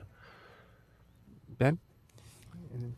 Question in regards to the east side loop um, alignments. Uh, so you have three alternative alignments there, and I'm wondering if you uh, consider if it would make any sense, and especially looking at this map in particular with the land uses that are there, to look at it as from uh, from a broader loop perspective uh, meaning you know you go broader Broadway or Weidler and then coming down all the way, looping down through Sandy. I'm not sure if it makes sense with considering this, this specific mode being a slower type of mm-hmm. mode, but just just wondering if that, that's an option. You know, um, I'm going to defer to my colleagues at PBOT on on that uh, question. Yeah. Sure. Well, I don't think that we have specific operational plans at this stage in terms of where exactly once the streetcar would sort of once it would plug into the existing system, then where it would go. Um, even though we're talking about Montgomery Park to Hollywood, you know, these wouldn't be built at the same time. They would be different phases. Um, if we decided to pursue Northwest, we'd probably, that would be a phase, that would be a first phase, and then potentially, you know, Hollywood District would be down the road. So I don't think it's, it's, it's not that we're looking at one alignment that connects the two in the immediacy.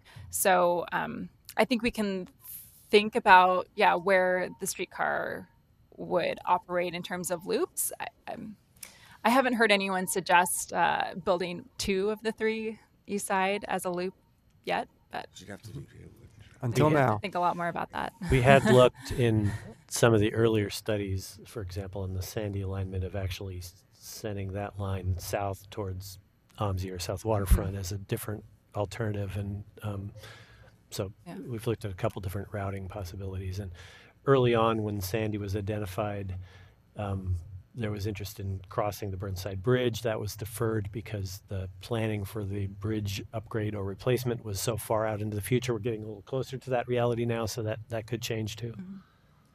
Steph? Um, okay, I have I have four questions and then a couple of comments, but three of them I think are quick. Uh, if that's okay.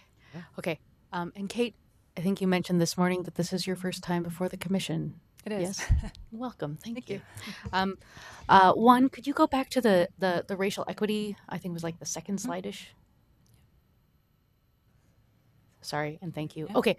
Um, so um, these were the, the background materials and the questions. If I understand, if I remember correctly, PBOT's uh, racial equity goals and their equity analysis through the city uh, are uh, specific to uh, income and uh, and race by census tract. Correct? Is that is that um, identified here in the racial equity analysis? So we, yeah, we have a an, an equity matrix that PBOT has, and it looks at um, race, income, and uh, language proficiency as well. Um, and so we do in our existing conditions, we did all of our sort of demographic analysis about where this, uh, like the populations that these different alignments would serve. Uh, yes. So is there another part to that? Um, yeah, I'm, I'm curious. Is like, do, do you have the is that map available within the alignment, and is that Oh. current? Um, is that current or yeah?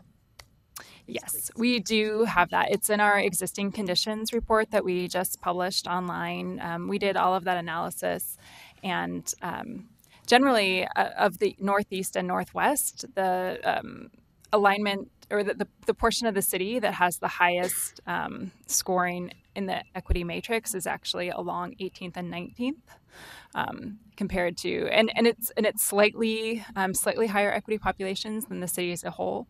Whereas kind of the rest of where we're looking at um, for these streetcar lines are about citywide averages or below citywide averages in terms of having households of people of color and low income. I would add that in the along these alignments, there's more people in the area, daytime population from jobs than there is residential. So we also looked at jobs data. Um, Mhm. so in terms of equity, sometimes we focus so much on the residential, but in the central city, it's important to look at both. Okay. Um, also, you know, whenever I, I think of study, particularly transportation studies, you know, Mhm. it's it's a it's a prologue to investment, and um, I'm curious the what is the landscape as you're seeing um, for federal you know funding at the federal level which has historically leveraged a lot of a lot of particularly our rail based investments um, how do you see that and where do you see um, the potential pickup uh, of um, of transportation the transportation funding burden for the city Yeah, so it's it's kind of an open question about if we if we were to move forward with this, whether or not we would federalize the project. Um, you know, currently FTA is um, supplying about 50% and the city has to come up with 50% match. And so we've done a mix in the past with streetcar. Sometimes we've done it all ourselves as a city and region. Other times we have federalized. Um, I, we are trying to craft this study in a way that we lay the foundation to apply for federal money in small sorts if we decide to go that route, but it's not a foregone conclusion. And obviously, uh, TriMet will be a part of this project as well as a stakeholder, and we would need their support in applying for FTA grants funds down the road. And then finally, thank you for um, weathering these. My comment, I guess, is, uh, and as we talk about a lot, uh, I'm I live in East Portland. I'm from East Portland, and we have a we have just vast disparities in transportation investments, and um, especially when we're talking about. Uh, you know, in another, um, I'm actually contracting with the city um, for uh, fixing our streets right now. Um, one of those pieces is, uh, and related is gravel grading in East Portland because we're not even we don't have the funds to uh, to pave our roads on an appreciable timeline in um, uh, historically unincorporated uh, Multnomah County. And uh, and so I, I guess I I do have larger questions um, when we are looking at streetcar, um, whether it is the highest use of even a portion of our GTR. Mhm. Uh, when we are looking at diversifying and, and growing parts of Portland that are underserved, particularly by bus, and um, and have a, a significant portion of a backlog of transportation maintenance. So I'll just That's that's my that's the chip on my shoulder that I on, just on that issue because. I know that's a common reaction to streetcars. Um, one thing to keep in mind is that the scale of cost for streetcar is is orders of magnitude different than large light rail investments. So in, in the case of like comparing this to Southwest Corridor, where it's three billion, um, streetcar is on the order of, of 80 to 100 million. Um, with 50% federal and, and a large share of the local being local improvement district property owner paid. So um, the the assumption in the comprehensive plan and the transportation system plan when we um, when we allocated the the projects, there's an order of magnitude more investment being made in East Portland basic streets and bus improvements than there are in, than there is in streetcar. That, that's the short answer. Is we are spending a lot more money on that than streetcar. Sure, and um, and uh, sorry, Mauricio, I know that, that you're uh, issuing as to speak, I, and and I think that there's something, uh, you know, transit, uh, rail and streetcar are only, you know, they're more tracks related than you know that that. Uh, I heard Rick Gustafson once refer to streetcar as, as a walk accelerator, and that was as close as it got in terms of a transportation vehicle. But uh, um, and that it is more more about development. But when you look at you know what streetcar has, uh, that I'll just leave it there. But you weren't invited up. I will just push back a little bit on that. I, I appreciate those comments. Um, and I think I have felt that way too before I started working on this project. But um, when I look at the ridership on the streetcar, it really is quite impressive and does move um, a large number of people, even if slowly sometimes and stuck in traffic. But um, it does, and it, and it moves a lot of people that live along the line. And so I think where we get that um, potential to create housing along the streetcar line and then give people an affordable mode, we do, you know, we are creating a development tool, but we also are funding a real a real transportation tool as well. Okay, I'm going to get a little more comment, and then Katie's got a question, and then I think I've got one myself. We'll try and get done in 10 minutes. Yeah, yeah. I just want to provide some feedback. Uh, it's a great question. We had we had that same question. So what we've done is we think it's a great opportunity. This could be a great equity move Yes. in an Could you please introduce yourself? Oh yeah, Sorry. Mauricio Leclerc. I'm a supervising Thank you. planner at PBOT. Mauricio? Sorry, folks on TV. Uh, so uh, this is a great question. I think it's a great opportunity. We're exploring it. Could be a great equity move for the city of Portland in Northwest Portland, which you know, as, as you see, is not an easy place to place to afford. Um, however, we set up the scope of work in a way that helps answer that question. At the end of whatever year plus, we'll, we'll understand whether there's a big land use move here, but also what will be the accompanying set of transportation and other infrastructure needed to support that. And bring that to you, bring that to council, and then weigh in the, the pros and the cons, the cost, the infrastructure, the investment, a way that with that council, you know, uh, with uh, citywide goals and, you know, is there money that could be spent elsewhere, you know, but for now, we set it up so that we can answer these questions and we can have uh, the, uh, a, a diverse conversation in terms of alternatives and, and a broad um, perspective from people from all over the city and particularly in this corridor. So that's all. All right, thanks. Katie? Well, kind of um, jumping on the bandwagon a little bit at East Portland.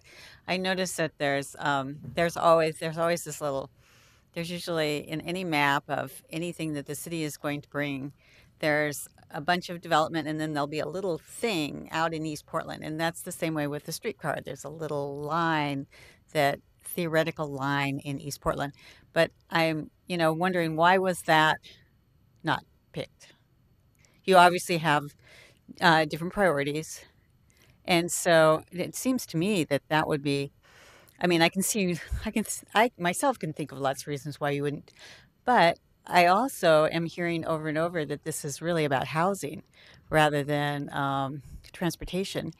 And I mean, you just said not, but um, so I'm just wondering um, since Gateway is just so underdeveloped, so underdeveloped, it seems like doing something bold like that might might have occurred to you. So I um, just was wondering what um, kinds of thoughts you have on that. I think this got turned. We kind of glossed over the the screening process that went through during the be, before and during the comprehensive plan process that led us here. Um, the original uh, streetcar concept did include some ideas in East Portland um, that went through some subsequent evaluation and study. In particular, the ones that rose to the top were a gateway circulator of some kind. And then we also looked at the feasibility of Foster Road and um, 82nd Avenue and 122nd Avenue as as potential investments and what those would look like. Um, the as was discussed, it's it's a little bit of a mix between uh, what you want with streetcar is is a an investment that will create uh, private investment in tandem and and so we looked at property values and development um, economics along those different alignments in an earlier phase of work before we got to even this this project. Um, and the, the the difficulty with with making streetcar financially work in some of those areas is that it doesn't the, the property values are low enough still that it doesn't you don't have a large number of property owners willing to form an LID or or you don't have a situation where it would make financial sense for them to jump on that bandwagon if I can say it that way. Um, so it's very hard to finance streetcar in that kind of environment and it doesn't necessarily create any development because the economics of that development just aren't there from a property value point of view. Um, that's the main barrier. And I think the conclusion from that work was that it would be better for us to focus on. But we, we ended up choosing to really focus on north south bus improvements in the comprehensive plan for East Portland. That was the, the big push. Um, and we've begun rolling those out. And that's that was sort of the result of that discussion we had during the transportation system plan and the comprehensive plan was to um, to push on that as our priority. Okay. Yeah, and uh, yeah, we do appreciate those um, those changes. But I just, I, you know, I whenever I see these things, I never see um, the East Portland option picked as as kind of a leap of faith or or okay, let's really let's really make this region hum. You know, it's just I just want to point it out. I have a question, or one is it the Eric, you did a one sentence economic summary of how this works. Fifty percent um, local improvement district. If if that could be come back to us in a just not right now, but just so we understand, because it would be helpful for me to understand how much of this is the citywide discretionary transportation money versus how much of it is local property owners footing the bill leveraged with federal funds. Um, That's not yet determined, but okay. the, we know that there's some combination of property owners through through some kind of LID tool or something like it, and federal. Kate mentioned we haven't decided whether to federalize the project, but um, there inevitably will be some city money in it in some way. Um, it's not, I think, currently seen as among the top two sources, but it could be. That that's a future discussion. I've got a question that's maybe more process related. Is so we're seeing these two west side and east side come to us at the same time. They're obviously in different stages of development. Um, so I'm interested in understanding at what point, what do you want us to recommend on? Clearly, map changes comes to us. Does alignment also come to us? If that's the case, one's already set, the other one's still in flux. They seem kind of linked. Um, and I heard one person, I think it was Barry Manning ask um, that there wouldn't be a land use strategy on the east side, and I sort of question that. It seems like with some of the routes on the east side, the southern routes along Sandy, for example, there's already high capacity for more. There's a lot of development capacity in that current zoning. The route on Broadway, there's not very much. I mean, if that it's route's not that there wouldn't be a land use strategy, it's that Okay. we wouldn't necessarily pull the trigger on zoning changes yet.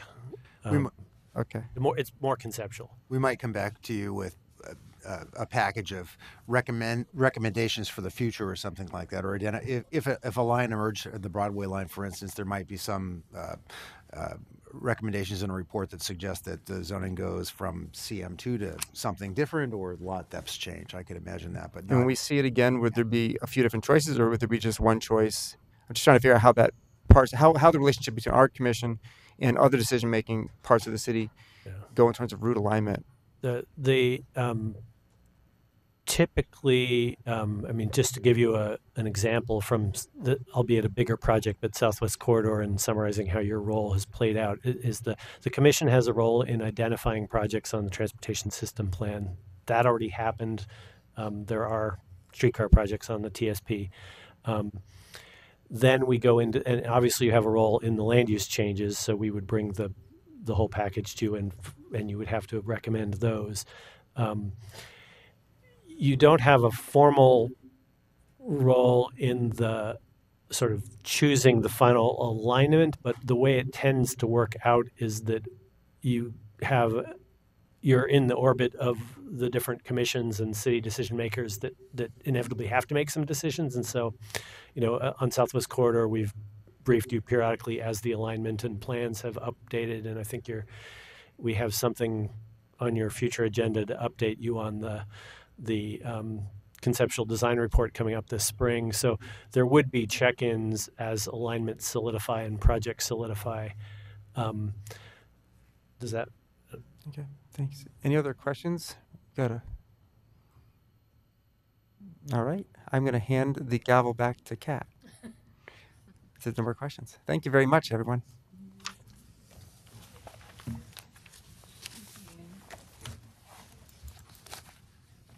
Uh, I was just well, I was just debating whether to give everybody their own a little break because we're a little ahead of time. I'm getting some head nods, so we'll just do a break until two thirty, and um, then I'll come back together for Doza, which is a work session. So that's just a few minutes, guys.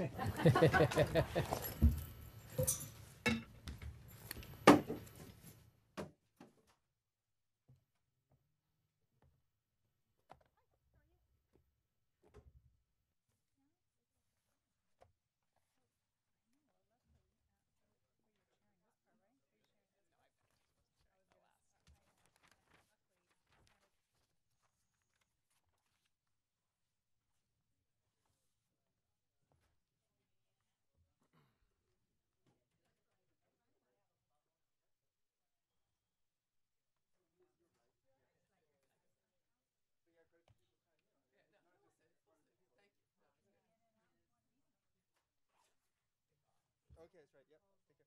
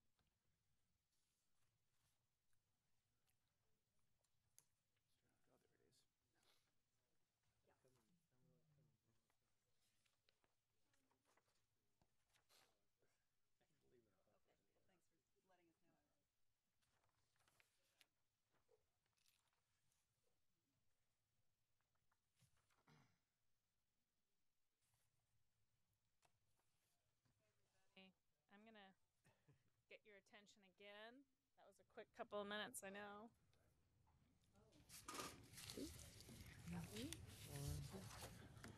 Six. Okay. So the next item on our agenda is our design overlay zone amendments uh, work session. Um, I do have a disclosure from the for the entire commission. I'll read the statement. While it's not clear whether the proposed changes create a potential conflict of interest for PSC members because the changes affect such a broad class of property owners, in the interest of transparency, we have the following declarations. Commissioner Smith owns property that owns properties, plural, that have a design overlay zone. Commissioner Schultz, Spevak, Bortolazzo, and Lawrence Spence work for architectural firms who design projects or work for companies who design and build projects in the design overlay zone throughout the city. Okay, so with that, welcome back. Hi. Hi, Laura. And right. group. We're ready? Yeah. Um, so, my name is Laura Lillard with the Bureau of Planning and Sustainability, and I am joined by my colleague Phil Nameny, also with BPS, as well as Shem Harding, um, who works at DECA Architecture, um, who was our consultant for much of the design um, standards and guidelines in the, uh, at the beginning of the project. So, this is the fourth work session uh, for the Design Overlay Zone Amendments Project, and it's a continuation of your discussion on the design standards proposed in Volume 2. Um, as you may recall, DOZA is proposing two sets of tools um, the design guidelines, which Design Commission is hammering out in their own set of work sessions. And the other, other set of tools are the clear and objective design standards, which will live in the zoning code. And they are under the purview of the PSC.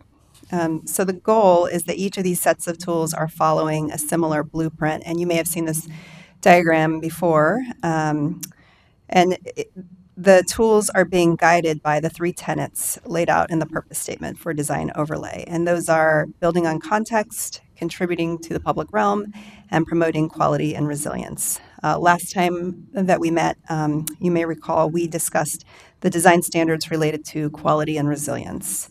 So we're going to pick that up with uh, design standards that relate to the public realm tenet. And these standards are listed um, in the table that was handed out to you. Um, we have an active standards working group that several, several of you um, serve on, um, are a part of, as well as one design commissioner. Uh, we decided at the last work session um, on the quality and resilience design standards that we should allow that group, the standards working group, to give a first pass on the standards and work through them to bring forward the standards where they felt like a discussion was needed. So um, we're going to try that out today. Um, the standard was, standards working group met at the beginning of the new year, um, and we've worked through each of the standards on this table, um, and we have listed them under four um, different categories. So we kind of put them into four different buckets, and that far right column um, on the table where it says category is where you'll see the four categories. Um, we decided that either um, no change was recommended um, or it might be listed as consent, in which case um, there were tweaks or changes that were agreed upon. Um, there are some items that say discuss, and those are the items that we want to talk about with you today. And there is a fourth category that the standards working group felt that we should punt the discussion to the three by three, which is a separate group um, that has been meeting throughout the DOZA process. Um, and it's made up of three members of the PSC and three members of the Design Commission. And we felt that some of the um, standards, I think there are a couple of them that fell into this category, really just needed a more robust discussion with um, more members of the Design Commission to make sure that um, that we weren't going in two different directions. So that's why you'll see that. Um, so we decided last time to jump to the items for discussion, and again, those are listed as discuss. Those actually are all on page three, and they are lightly shaded. So I'll give you a moment to turn to that. So Laura, can I jump in? Just, um, I, I guess I would say to my fellow commissioners again, the goal is to just discuss these items that have been highlighted, to not at all discuss the other ones for today, right? That's right. Um, and we would go over these first, and then we can check in to see if anyone wants to pull anything off of the consent list. Um, and then we can talk about those at the end, if that makes sense. Yep, that's I that guess work? what I was exactly going to say. And if if it's just too much to multitask, reading through what's on consent, focus on our discussion. Um, it's not the last possible No. chance, but I guess my request would be to make sure if you're going to pull something from consent, and it's not going to happen at, at today's meeting, that we send an email or get an email sent to Laura so that we can identify it for the next meeting. Sound fair? And hopefully we can get through this a little quicker today. Okay, perfect. All right, so um, again, it's on page three of the table, and if you are following along um, in volume two, which Phil can also toggle between the two, that is on page 53. Um, so the first standard that um, we have as a discussion item is actually PR 18, which is a standard related to the location of utilities. And this standard aligns with Design Guideline 7, which is about minimizing um, the impact of utilities and services to the public realm. And so this is about placement of electric meters, gas meters, HVAC equipment, et cetera, um, and screening those from the street. And there's a number of um, different ways that you can do that, and you need to meet one of those standards. So that's kind of a summary. And Phil is going to talk about each of the amendments that um, are being brought forward today for discussion.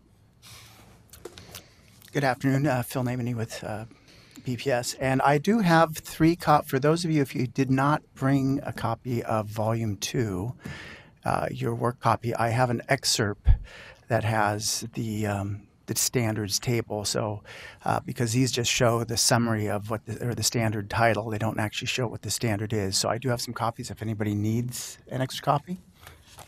I'm going to hand those out. And PR 18 actually is, it, it shows new, and so it's actually new to the working group as well. Um, there is a, a ongoing a conversation happening with the, uh, as part of the river plan South Reach. Uh, and there was some discussion about how the Macadam Plan District and their design guidelines and, and, and standards could interact with our uh, proposal for the design standards.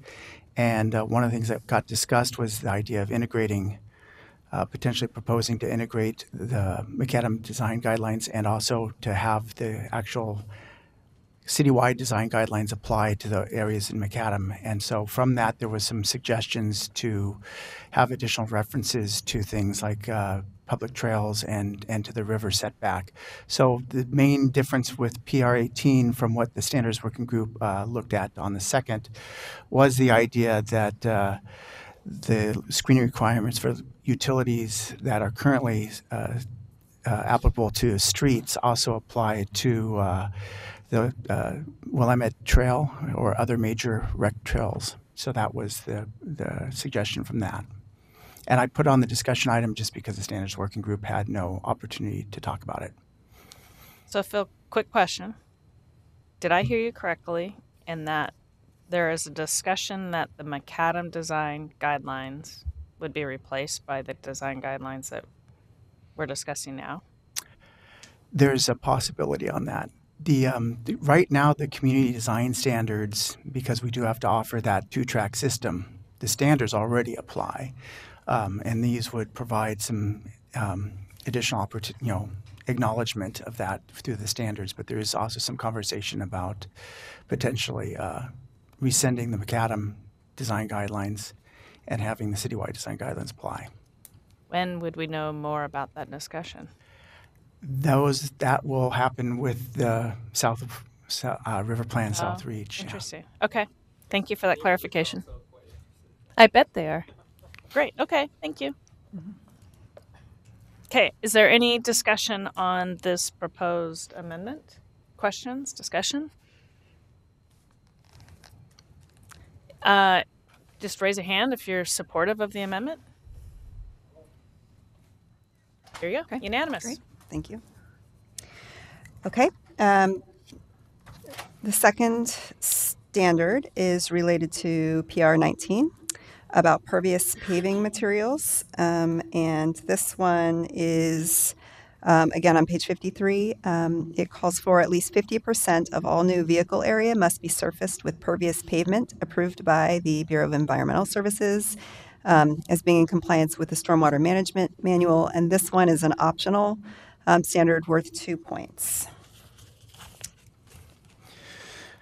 So this one, the the request was potentially to raise the number of points to three points, um, but there was some some question about whether, in relationship to the overall all the vehicle area, paving and other vehicle area and, and parking setbacks, um, there was a question about maybe taking looking at them holistically with this group and discussing them. So I don't know if folks want to go through basically PR 19, 20, and 21 and have us kind of describe the changes for all those, and if you want to discuss them together, or if you want to discuss each one in isolation. I think that's a great suggestion. Why don't you run through them all? But can you quickly Phil, as I'm sitting here reading the discussion to remind myself what we discussed, um, can also just summarize a little bit more about what our discussion entailed on while you're going through but all of them? Uh, I think with the pervious paving material, there was acknowledgement of the benefit of doing that, but there was also an acknowledgement that um, there's not a lot of benefit if somebody is just providing a, a driveway to two parking spaces on site and make one of the spaces pervious. Uh, that's a pretty easy way to get two points. So part of the discussion on that was potentially considering whether there should apply to a certain number of spaces or to larger sites. Uh, there was also some um, questions about what the recently approved Better Housing by Design project had uh, required for uh, alternative paving.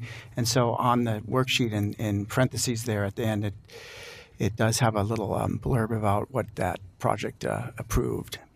And uh, in that case, it, it actually was limiting overall vehicle area to, to 30%, and then actually asphalt could only be basically half of that overall uh, paved area. So it didn't necessarily touch on pervious paving directly. So that's that's uh, PR 19. Now PR 20, which is a required uh, provision, and there's actually two items listed under that because one one was something discussed with the, the working group, and then the other was um, something that uh, came out of the river plan as well. And PR 20 is essentially a provision that uh, on larger sites, as we'll get to it. so if, if a site is, is over 20,000 square feet, um, that there be a requirement that surface parking be set back 25 feet from street lot lines. And if it's structured parking, it'd be set back 10 feet from street lot lines uh, one of the things that came up during the working group was what happens in that setback.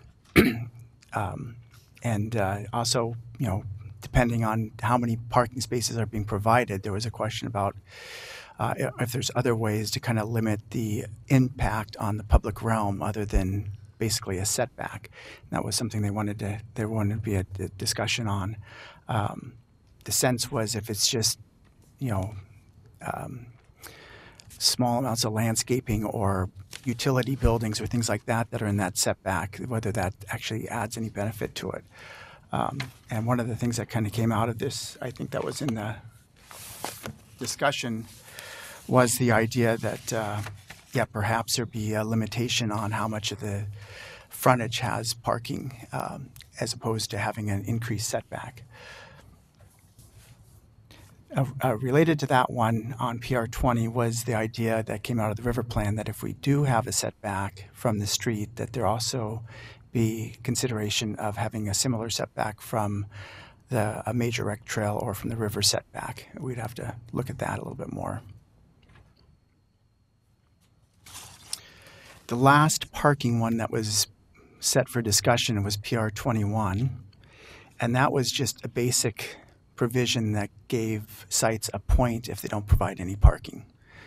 And part of that is the relationship between this one and some of these other ones where we're giving points for doing certain things to parking. The, um, the idea behind this was that because if somebody isn't providing parking, they don't have access to providing park, uh, uh, providing pervious paving for parking, or they don't have ac- access to, you know, they're not required to do the uh, setback, but to have another option if they're not providing parking of, of gaining a point, because the idea is then they can use that site for other um, other improvements that are probably more beneficial to the public realm. Um, so there was some discussion with the standards working group between this being kind of a gimme point for a project that doesn't provide any parking versus the idea that it does provide a benefit uh, that balances some of these other points that we're giving for projects that are doing things with their parking, such as using pervious paving. So I think the, the when we worked with the standards working group, there, uh, we kind of reached this point where um, I think it was just a decision that maybe the idea of parking and how we regulate that through the design overlay maybe needed a little more discussion with the larger group. And that could help then decide whether we want to have you know larger setbacks for it, whether we want to have um, provisions for pervious paving and for certain, you know especially if it's a larger parking, and if we want to reward people for not providing parking. Good summary. Thank you, Phil. So maybe let's go ahead and step back to 19. And keeping all that in mind and how these all kind of play together, have discussion on that if there's any comments or discussion. Chris. Why wasn't this simply required? Why wasn't the what required? Why wasn't um, PR 19 simply required?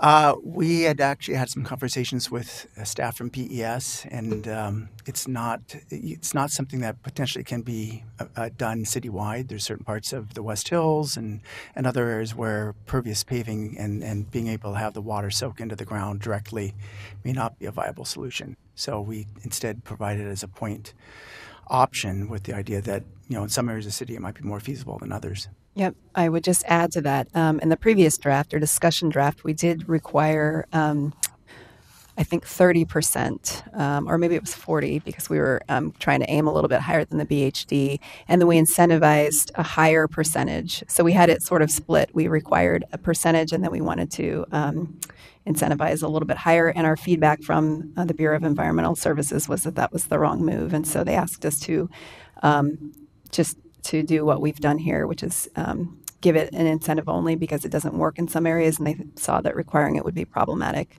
Um, and just to Understanding that it's it not points. feasible in some places, is it more expensive than regular paving? A lot. Can be. More expensive. Which is, I think, it's not just the surface, but underneath the pavers, you have to have layers, 12 inches of gravel or so, so it's more excavation and more fill. Thank you. which is thus the discussion about maybe increasing the points. What we were also worried about, though, is um, would it actually potentially encourage somebody to just put in one parking space to get three points, right? And so that's that was our conundrum, and that's why we're like, I think we just all need to discuss it and kind of how they all work together, because we would certainly hate to incentivize a parking space just for the point to get the Right. Just to get the points. I, I like the idea of um, only allowing it for larger parking areas. Um, that makes some sense to me. Yeah. Just to add to that, we did have a member of uh, from PDS that does plan review, um, and one of the suggestions they made that seems reasonable for you folks to consider is the idea of perhaps having it being for uh, parking lots with 10 or more spaces. Uh, that is also a threshold we use for when a parking lot has to have interior parking lot landscaping. So it uh, there's kind of precedence with that.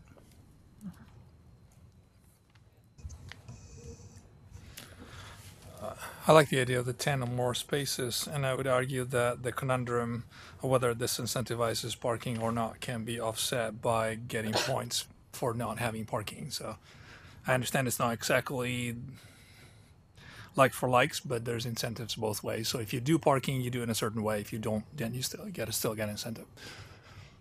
Just trying to connect the 2 mm-hmm. Any other comments? Okay, so I'm hearing a lot of people kind of supportive of the 10. So we'll do a is there support for revising this to be only for sites with 10 or more stalls? seems to be support there. Then I guess we'll get into a point discussion later. How about that? Okay. And just as a reminder, or for those who are watching on TV and wondering why I said that, so many of the points are kind of connected together and I think need to be looked at as a whole. So the thought process has been once we kind of figure out what we're looking at, then we'll go into a discussion about how the points are working so that we can figure out if we want to prioritize natural environments more than parking and things like that. Yes, Mike. When we do that. I mean, that's not part of today. At some point, we need to look at Yep. all of the examples and Excellent question for Laura right? And Sandra. Is that right? That's right. Um, this is we, this once we finish um, this set will only be two thirds done, and then we'll have to come. We'll need to come back in February for the context standards, um, which we haven't discussed yet with the standards working group. Um, then we want to be able to sort of um, recalibrate where we are, um, bring that to the three by three, I think is the mechanism, um, where we sort of understand where, because the design guidelines at the same time, as I mentioned, are following their own parallel process. So those are getting reshuffled also. So we just kind of need to make sure that there aren't major gaps. Um, and we would, I think, bring that to the three by three.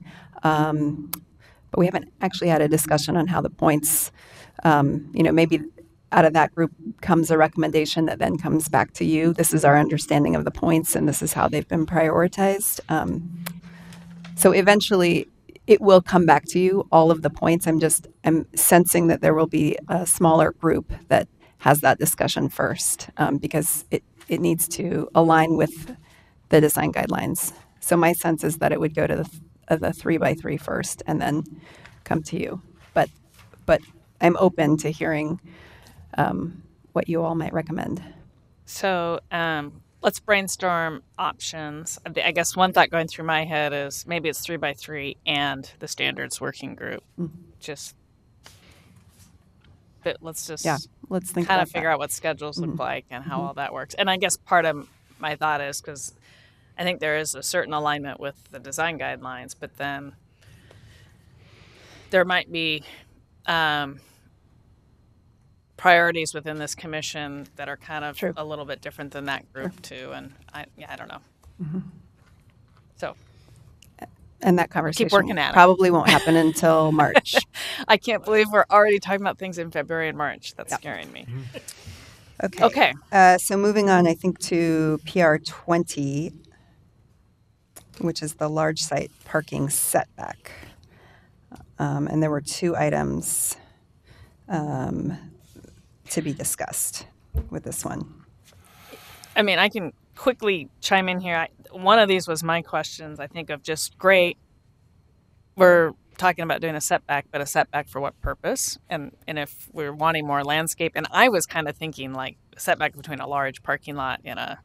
I was forgetting this was along a, transit street, just even a residential neighborhood. It seems like you'd want that landscape. But then I we started talking about no, this is along a transportation corridor or transit corridor. And so again, if you're just going to set back and have it be paving, I'm like that doesn't really accomplish. It's not quite big enough to be a plaza, and so we were just kind of wrestling with what it means, as much as we like the intent of it. Mm-hmm. Creating leftover space doesn't really seem to achieve goals. Agreed. And I think that the greater intent behind this was that there, it, there would be a building or a part, you know, an active use of some sort. I think that would align best with the design guidelines, but we don't, that's not how it's written. So um, it was probably worth the discussion um, with this group. Any yes, go Mike. Yeah, well, the the new one was specific to the river and the Willamette River Greenway, correct? That's That's right. what came out of the, Correct, the yeah. river thing. And there, in that case, um, and if you walk the Greenway, I, th- I don't know whether you'd agree with me or not, but there's a, quite a different experience walking the Greenway with, with the large parking lot right next to it, as opposed to a setback with with vegetation that would support. I mean, it would complement the vegetation on the Greenway. So that's why that that one was specific to that particular um, purpose. And perhaps that one's easy. I absolutely. I think that exactly gets at my initial thought on the other one. Um, to me, that's a no a no brainer to support. And I would say, yeah. The only thing I'd add to it is then let's give it L1 or L2 landscaping standards. So again, you're not just getting a trail and paving and a parking spot setback. Yeah, but a good a good example. I don't know how many of you have walked by uh, Tesla on the west side of the Willamette Greenway, but for a while they were parking all their cars right up to the edge of the Greenway, and after a certain amount of communication we had with them, um, they planted that in the mean in the meanwhile with native vegetation, and it's it's a hugely different experience. I think it could be even uh, planted even more heavily, but it's it definitely improved that that experience for the public um, right away. Katie, Eli, And you're you're mentioning the river, but are you thinking of every major public trail? Because I, I would think you would want that same experience in any trail you wanted to take, especially as the city gets more dense. It's like when you get on a trail, you're not, just not going to want to. If you're wanting to get away. Yeah, no, that's a good point. And I think it does say major public trail here, so that would be covered. Eli? Um, I'm, I'm just wondering whether the developer would, I mean, to leave that 25 foot or 10 foot setback sort of um, dead zone. I mean, I'm feeling like probably for a developer, this is square, square footage is always tight. Wouldn't the developer come up with something to do rather than follow zoning to leave some dead space? And I was just thinking, as someone's trying to use the be- you get the most the most you can out of the square footage you got on a lot, I would think the developer would be unlikely just to, oh, I got to set it back 25 feet, just do that and leave nothing in between. They'd probably try and just to make the number the project pencil, put something. Well, I think we value in the saw with some of our examples that um, I think DECA worked on too. There was cases where oftentimes you had a situation where surf, uh, structure parking wasn't feasible from a cost standpoint, but um, surface parking would be. And so what they would, you know, the idea is if you don't say what is in that setback, they'll quite possibly might put a building, and actually then the surface parking's you know 70 feet back because it's behind the building. Uh, and so this provides an opportunity to, to do that or kind of an incentive to do that. And i think that's originally what we were thinking of um, the thing we weren't necessarily thinking of is if somebody just decided to have okay i'm doing treating this 25 foot as a as a setback dead zone. Um, and so then then the question is do we need to fill it? But i, I think most of the, most of the examples we were thinking of was the idea that they would go ahead and just put the parking behind the building. Uh, and then it's less of an issue, I think, with the with the the rep major recreation trail. You still have a potential situation where if a site did back up on a trail or on the, the, the river setback, then that is encouraging the parking to go back there if you don't have another landscape setback requirement. So, Ben, I see your hand up, but just real quick. So, if we were to keep both standards, and you happen to have a tra- be on a transit corridor and a public trail, we've now just got two big setbacks on. Like we might have to say it's one or the other. I guess is where I'm going. Otherwise, you've got if I'm re- 50 foot setbacks required, based 25 on one side and 25 on another. Right? One one way to um, come back to that is to find out where that is even a scenario. Um, I'm I don't know if you can think of any off the top of your head where that's a potential issue, um, but we could bring that back. Um, if if we agreed that we needed a setback in either case um, because of the context, um, and we could call it either or now, but then just come back to you. I feel like I need more information Yeah, fair. before. You don't have to answer right now. So or. just be something to research. So Okay. Ben had his hand up. I- I struggle philosophically a little bit with this one. I mean, if the intent behind it is to create or to incentivize active uses, it seems like a kind of a convoluted way to get there. Um, and I'm also in the same camp as, as Eli. It feels like 25 feet, if that's going to end up being just a landscape setback, it's kind of an inefficient use of land, which is always scarce, no matter what the use is. So 25 quite frankly it's kind of an in-between dimension that seems like it's it's just going to penalize whatever you're going to end up doing within the site so kind of leaning towards perhaps reducing that So would you reduce it for? So let's maybe again. I'm trying to get one checked off here. Um, the one, the new one, which is where it's along the river or a major public trail. Um, I guess if we're talking about that, being the same, would you reduce that setback? And if, if that's your proposal, what would you suggest there? And or Mike, do you want to throw something in there? I, I could see I could see a possibility where whether where if it's a a river or a major trail, it's justified. Um, but for all other cases, maybe it's more like a 15.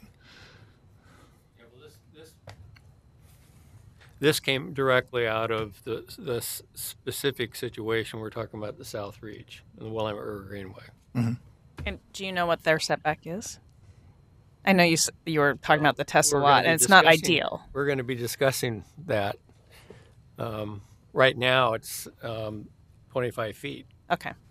That's the greenway setback for the city at this point.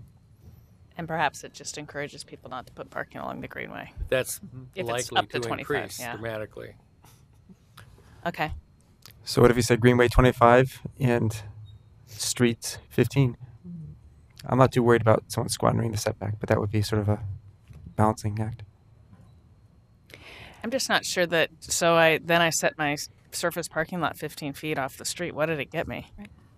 At all? I mean, I'm not, I'm almost questioning whether this guideline makes or this standard makes sense for a street. I think I get it for the greenway. Mm-hmm. There's a couple, I mean, we've seen in other, in certain plan districts where we just haven't allowed parking between a building and a street or between a building and a transit street. Um, Well, perhaps. and so, so whether it. that gets expanded, um, there is, already is in the base zone some provisions that limit the amount of uh, frontage that parking can be on, uh, I think, on transit streets. So I think it, you know, and whether this goes back to the three by three, maybe we have to do a little more research and say what is what are all the base zone provisions and maybe some plan district ideas, and see if the, there's something that should get augmented here. Um, above that versus or is what's in the base zones and the plan districts enough And actually, I'm reading this. It doesn't say anything about transit streets directly, does this? right it's now. it's Okay. along any street i think is what the plan was So, um, yes, Andrea. Can I was just going to suggest that um, I think doing further work and having further consultation on the streets aspect of this would be helpful because we are in conversations with other bureaus, including PBOT, about just the competing needs and demands um, for our right of way. And so um, I think we should just make sure we're circling up with, with others before you make any um, decisions. We can be better informed for that conversation. So per- perhaps what I was going to suggest, could we go back to the Greenway situation, see if we all have support on that? Because I think we do. Right. And then I think I'm hearing a suggestion of if the goal is just active use, perhaps you guys go back and work on that on the other one. But so first, show of hands, which is just PR 20 new one along the Greenway. Is there support for having that um, in there with a 25 foot setback? Yes.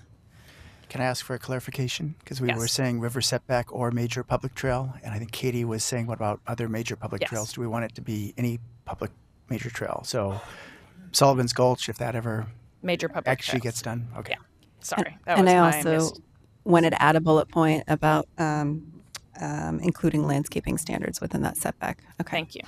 Um, and then just to circle back on the one that we need to get back to on, um, I think the intent was, I just want to make sure that we're all agreed on the intent, was to um, limit the amount of surface parking along a major street. And that was the intent. So we can come back um, with a better way of getting at that. Okay. I like it. All right. So then the last item is the PR 21, which is perhaps the shortest standard. Um, the, uh, giving an optional point, in this case it's one, for um, including no parking on the site. Um, and there was discussion, um, there was actually a discussion in the standards working group, if I recall, about incentivizing this with a greater number of points, but then on the other end of the spectrum, with a worry that we were um, just giving away points. So we thought this would be a good discussion for you. Any? Yep, Chris. So I'm interested in how this balances against economic incentives. Developers have an economic incentive to not provide parking already. So for a small site, it seems like the economic incentive might be the most significant. As you get to larger and larger sites, there's going to be more pressure from various angles to provide parking. So maybe we only reward this for larger sites, and I have no idea what the right threshold would be, but I just want to throw out that concept.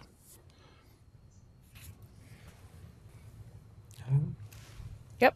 I, I think that makes a lot of sense, and I, I will also mention that in terms of balancing your opportunity to earn points with parking or buildings no parking buildings, it's not just these three codes. Back in PR ten, you get one or two point two points for separation of dwelling unit entry from vehicle areas. So there are there's not at least one other place in the code where you can only get points if you're providing parking. Right. So I was trying to, um, so I mean I even was inclined to boost it up to two points, and maybe I would suggest that um, with Chris's caveat that only applies for larger sites.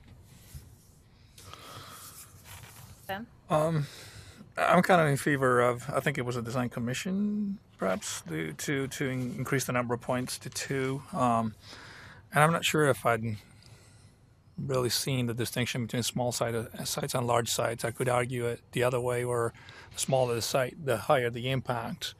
Um, I guess ultimately we're trying to incentivize a certain behavior. Yes, there may be some situations where we're giving away a point where maybe the developer wasn't going to do parking anyway, but overall, I think we're incentivizing the behavior that we want. So um, I- I'd be inclined to leave it as it is and just, just increase the points. Any other comments, discussion? Well, I thought we were going to like look at them all together, the points. So Yeah. I'm, I'm finding I don't have anything to say because I just feel like I don't know enough at this Fair. point. I'd I like to agree. see them all I'm not, together. I can't comment on the number of points either, personally. Um, yeah. So, it, is there support for um, putting some type of threshold to be able to get this point, whatever the points end up being? Especially if there's more points. Right. So it looks like Okay. we have a majority there. Okay. Obviously, need some staff work on what that threshold should Sure. We've been throwing out 20,000 square feet with other ones. I don't know if that would make sense, but well, it tends to be it tends to be you know when you're dealing with a 5,000 square foot lot or a, I'd say a 10,000 square foot sort of quarter block. Um, parking is often hard to kind of push in there and get a building. When you start getting to, to a site that's around 20,000 square feet, you can often kind of run a driveway in through one side and and and uh, provide park you know a, a driveway with double loaded parking. So, I mean, it's something we- we can look at, but I know we've we've used that kind of as a threshold in the past. Makes sense. Okay. So that concludes the number of standards that we had for discussion. Um, but I would open it up to um, the commission to let us know if there are any other items that were on the consent list that you um, wish to discuss.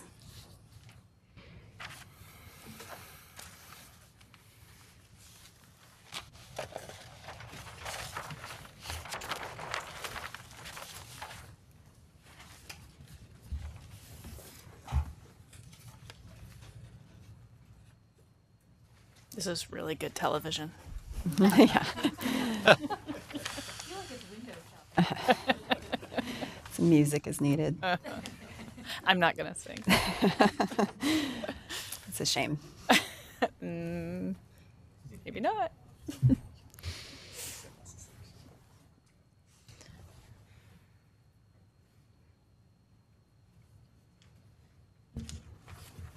Few people still perusing. Yeah,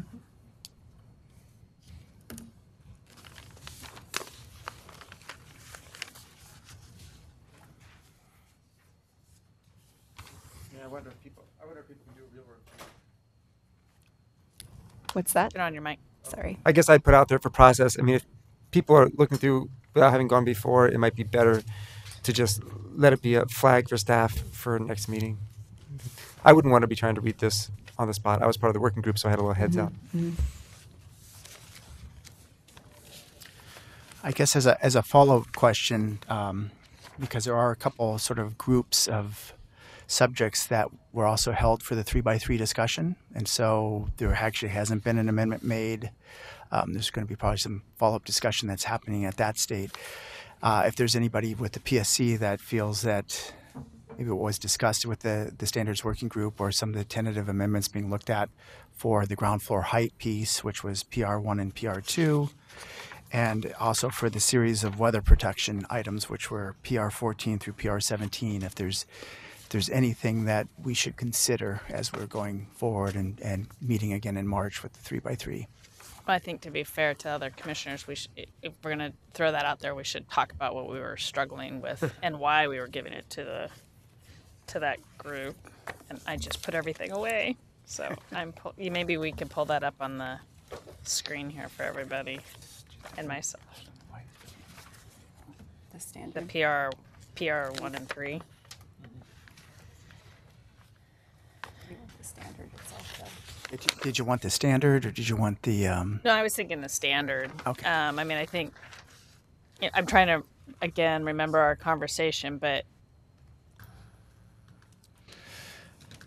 So the um, ground floor height standards were basically a requirement. Uh, there were two standards. One was a requirement. One was a um, an optional to get additional points, uh, and it was for new buildings. And it was a requirement that uh, there be a certain vertical clearance uh, for the ground floor between the floor and the ceiling. And the requirement was for commercial uh, ground floors in commercial use to have a, a minimum clearance of 12 feet, and for those in residential use, the height was 10 feet. Uh, the bonus was if you raised those numbers respectively to 15 feet to commercial and 12 feet for residential, you'd get three points. Uh, some of the conversation that came up was um, this is expensive. Um, it can also possibly impact your overall height if you're doing if you're pushing the maximum height limit on a building. It uh, can be inspe- uh, if you're only doing a one or two story building, it can disproportionately affect the cost of the building uh, because of that higher ground floor. Um, one thing we did not um, distinguish in the standard, which got brought up with the standards working group, is whether there should be one set of standards for corridors and or transit streets and possibly maybe a, a not having a standard or a lower standard on the side streets. Uh, another possibility that was being looked at was the idea that um, maybe not the entire ground floor has to have that minimum height, but maybe a certain percentage uh, can be below that height, or you know, minimum percentage has to be above that height. So those were kind of things that got discussed, and I think it needed. We just we I think we went around in circles a little bit. So the idea was we probably should have that be part of three by three. Yes, we did go around in circles. Didn't you raise the issue of losing a potentially losing a one floor? right. So I was I just wanted to make sure that we check actual construction types and Right. depending on certain corridors, it may or may not actually mean you the potential loss of a floor if you haven't calculated it right. I think design commission wanted maybe a little more height in certain areas, so we wanted to be in alignment with them. So that's thus why we were pushing it kind of to that three by three to hopefully come to some agreement, make sure we'd been thoughtful about understanding that section and when I say section, the section of how tall the building is and and how that relates to the um, maximum height for code purposes. I think this is about when you turned to me and asked if I actually had a clue of what we were talking about. Which I didn't say quite that crass, I don't think. well, it's true. Which is why I really do favor the three by three coming back with recommendations mm-hmm. from people, even though I'm on it. I know there are enough people who actually know what they're talking about who could give us good direction rather than us mm-hmm. going in circles, which we would. yeah, it was a lot of in the weeds about floor assemblies and a concrete structure having this much and wood assemblies and cornices and architects having fun. Too much fun, maybe. So, if I might say, I really appreciate the idea that there is this three by three committee, and um, and I really like hearing what you guys come up with for sure. So, I'm just agreeing with you, Mike. Any other questions or comments? Yes, Steph. Um, I have a question since we have a few moments. Um, perhaps you can relieve me of my ignorance uh, related to um, PR4, affordable ground floor commercial space. I took uh, Jeff's comment um, a couple of sessions ago about, you know, what is enduring, like what is what is a physical um, decision, uh, and and what is more programmed. And I'm curious, is this is affordability is that an enduring? um, like for the life of the building? Is that for a few years? I, I'm not familiar with this program, so. Um, the, the program of, the of the PDC program? Yeah.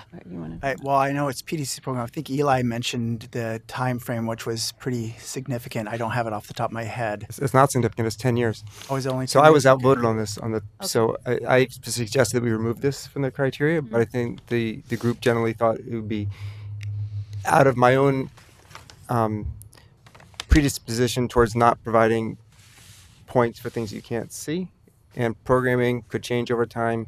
This just lasts ten years. I wasn't. In, in some ways, it's. Uh, I ended up coming down in the three in not three by three in the standards group, being okay with things that you're trying to incentivize stuff, wide realm of public stuff, whether or not you can see it. Um, I was I ended up coming down that that's okay, even if I don't really think we should be baking that into our design standards. Um, where things are required, that's where I got a little bit stiffer, and so I, I was not interested in having things um, achieving things through the design um, standards that might otherwise be achieved in a base zone or other other mechanism we have um, that comes through us from time to time. So this is one a case where I was I was outvoted. Okay. Chris. So we had a PSC working group that worked with Prosper on this program, and I was I'm the last surviving member of the commission from that group. Um, it was very challenging to create a program, and we do have we have a zoning bonus linked to it. I don't remember at this point exactly what that is. Um, so I would suggest one, you know, if we do it, there's going to be a low take up rate, and two, um, if we're really considering it, we should be consulting with Prosper to see what how the incentives align and make sure we really have something that amplifies rather than just creates another kind of branch that may not go anywhere. I well, in our discussions with PSC slash Prosper Portland, um, they were supportive of, of having this in here. They saw it as an opportunity to possibly further promote their program, Okay. try to get it to ramp up. Um, that said, I also was interested in if somebody just wanted to do this and meet the requirements of Prosper Portland, but maybe weren't actively pursuing, say, the floor area bonus, Uh-huh. That they could still get the points for that. So that was that was one of the things I was also looking at. Any other comments, questions, things you want to pull from the consent? You don't have to. Do do you guys have any questions about the weather protection? That was the other three by three discussion. If not, we'll just Let's just talk about it three by Let's three. just go. All right. Let's um, treat that one like the last one, and we'll come back with a recommendation. Oh, Did I just close? Oh, no, Give you the cliff it's- notes. It's really odd. It- Okay. Okay. I was just going to um, give a little summary of the next steps so you know when we'll be back and what we're going to be talking about next. Um, while Phil pulls this up, I think the next time you will see us, we're actually going to switch gears and not talk about standards. We're going to give a little bit more time to the standards working group to finish up the work um, related to context. Here we go. Um, so that happens this week, actually. And then we um, will be sort of recalibrating those points, um, as I had mentioned. Um, the next time you'll see us is uh, the end of this month. And we're going to switch gears, like I said, and go into thresholds, um, process of design review, as well as costs. Um, I know there were some questions, I think, during the first or second work sessions about what is the cost of design review. So we're hoping to come back with some more information about that. That's the 28th. Um, we will return to talk about standards again um, February the 11th, and we'll do. I think this worked um, okay uh, to to have a, a little bit more of a um, of a preset um, list of issues to discuss, um, having been vetted by the standards working group. So we'll probably do the same type of exercise and just discuss the things that the standards working group um, wanted to bring to you. So we'll do that on the 11th, um, and that wraps up the standards. And then on the 25th, we'll go over our list of amendments. So we've obviously been taking notes and marking all of the amendments. So we'll come back to you um, with that on the 25th of February. And we anticipate that the three by three meeting will happen on March the 7th to sort of recalibrate and um, align the standards and the guidelines. And that's our schedule. Thank you. Any other? Nope. Seeing that, we are adjourned for today. Thank you so Oh, much. Oh, one no, other. we're not adjourned. I just um, should have said this before you adjourned. Um, I just wanted to uh, remind you that we would be continuing until January 28th. Don't, I- don't we need to do that? Continue, it- continue the work session until don't- January the 28th.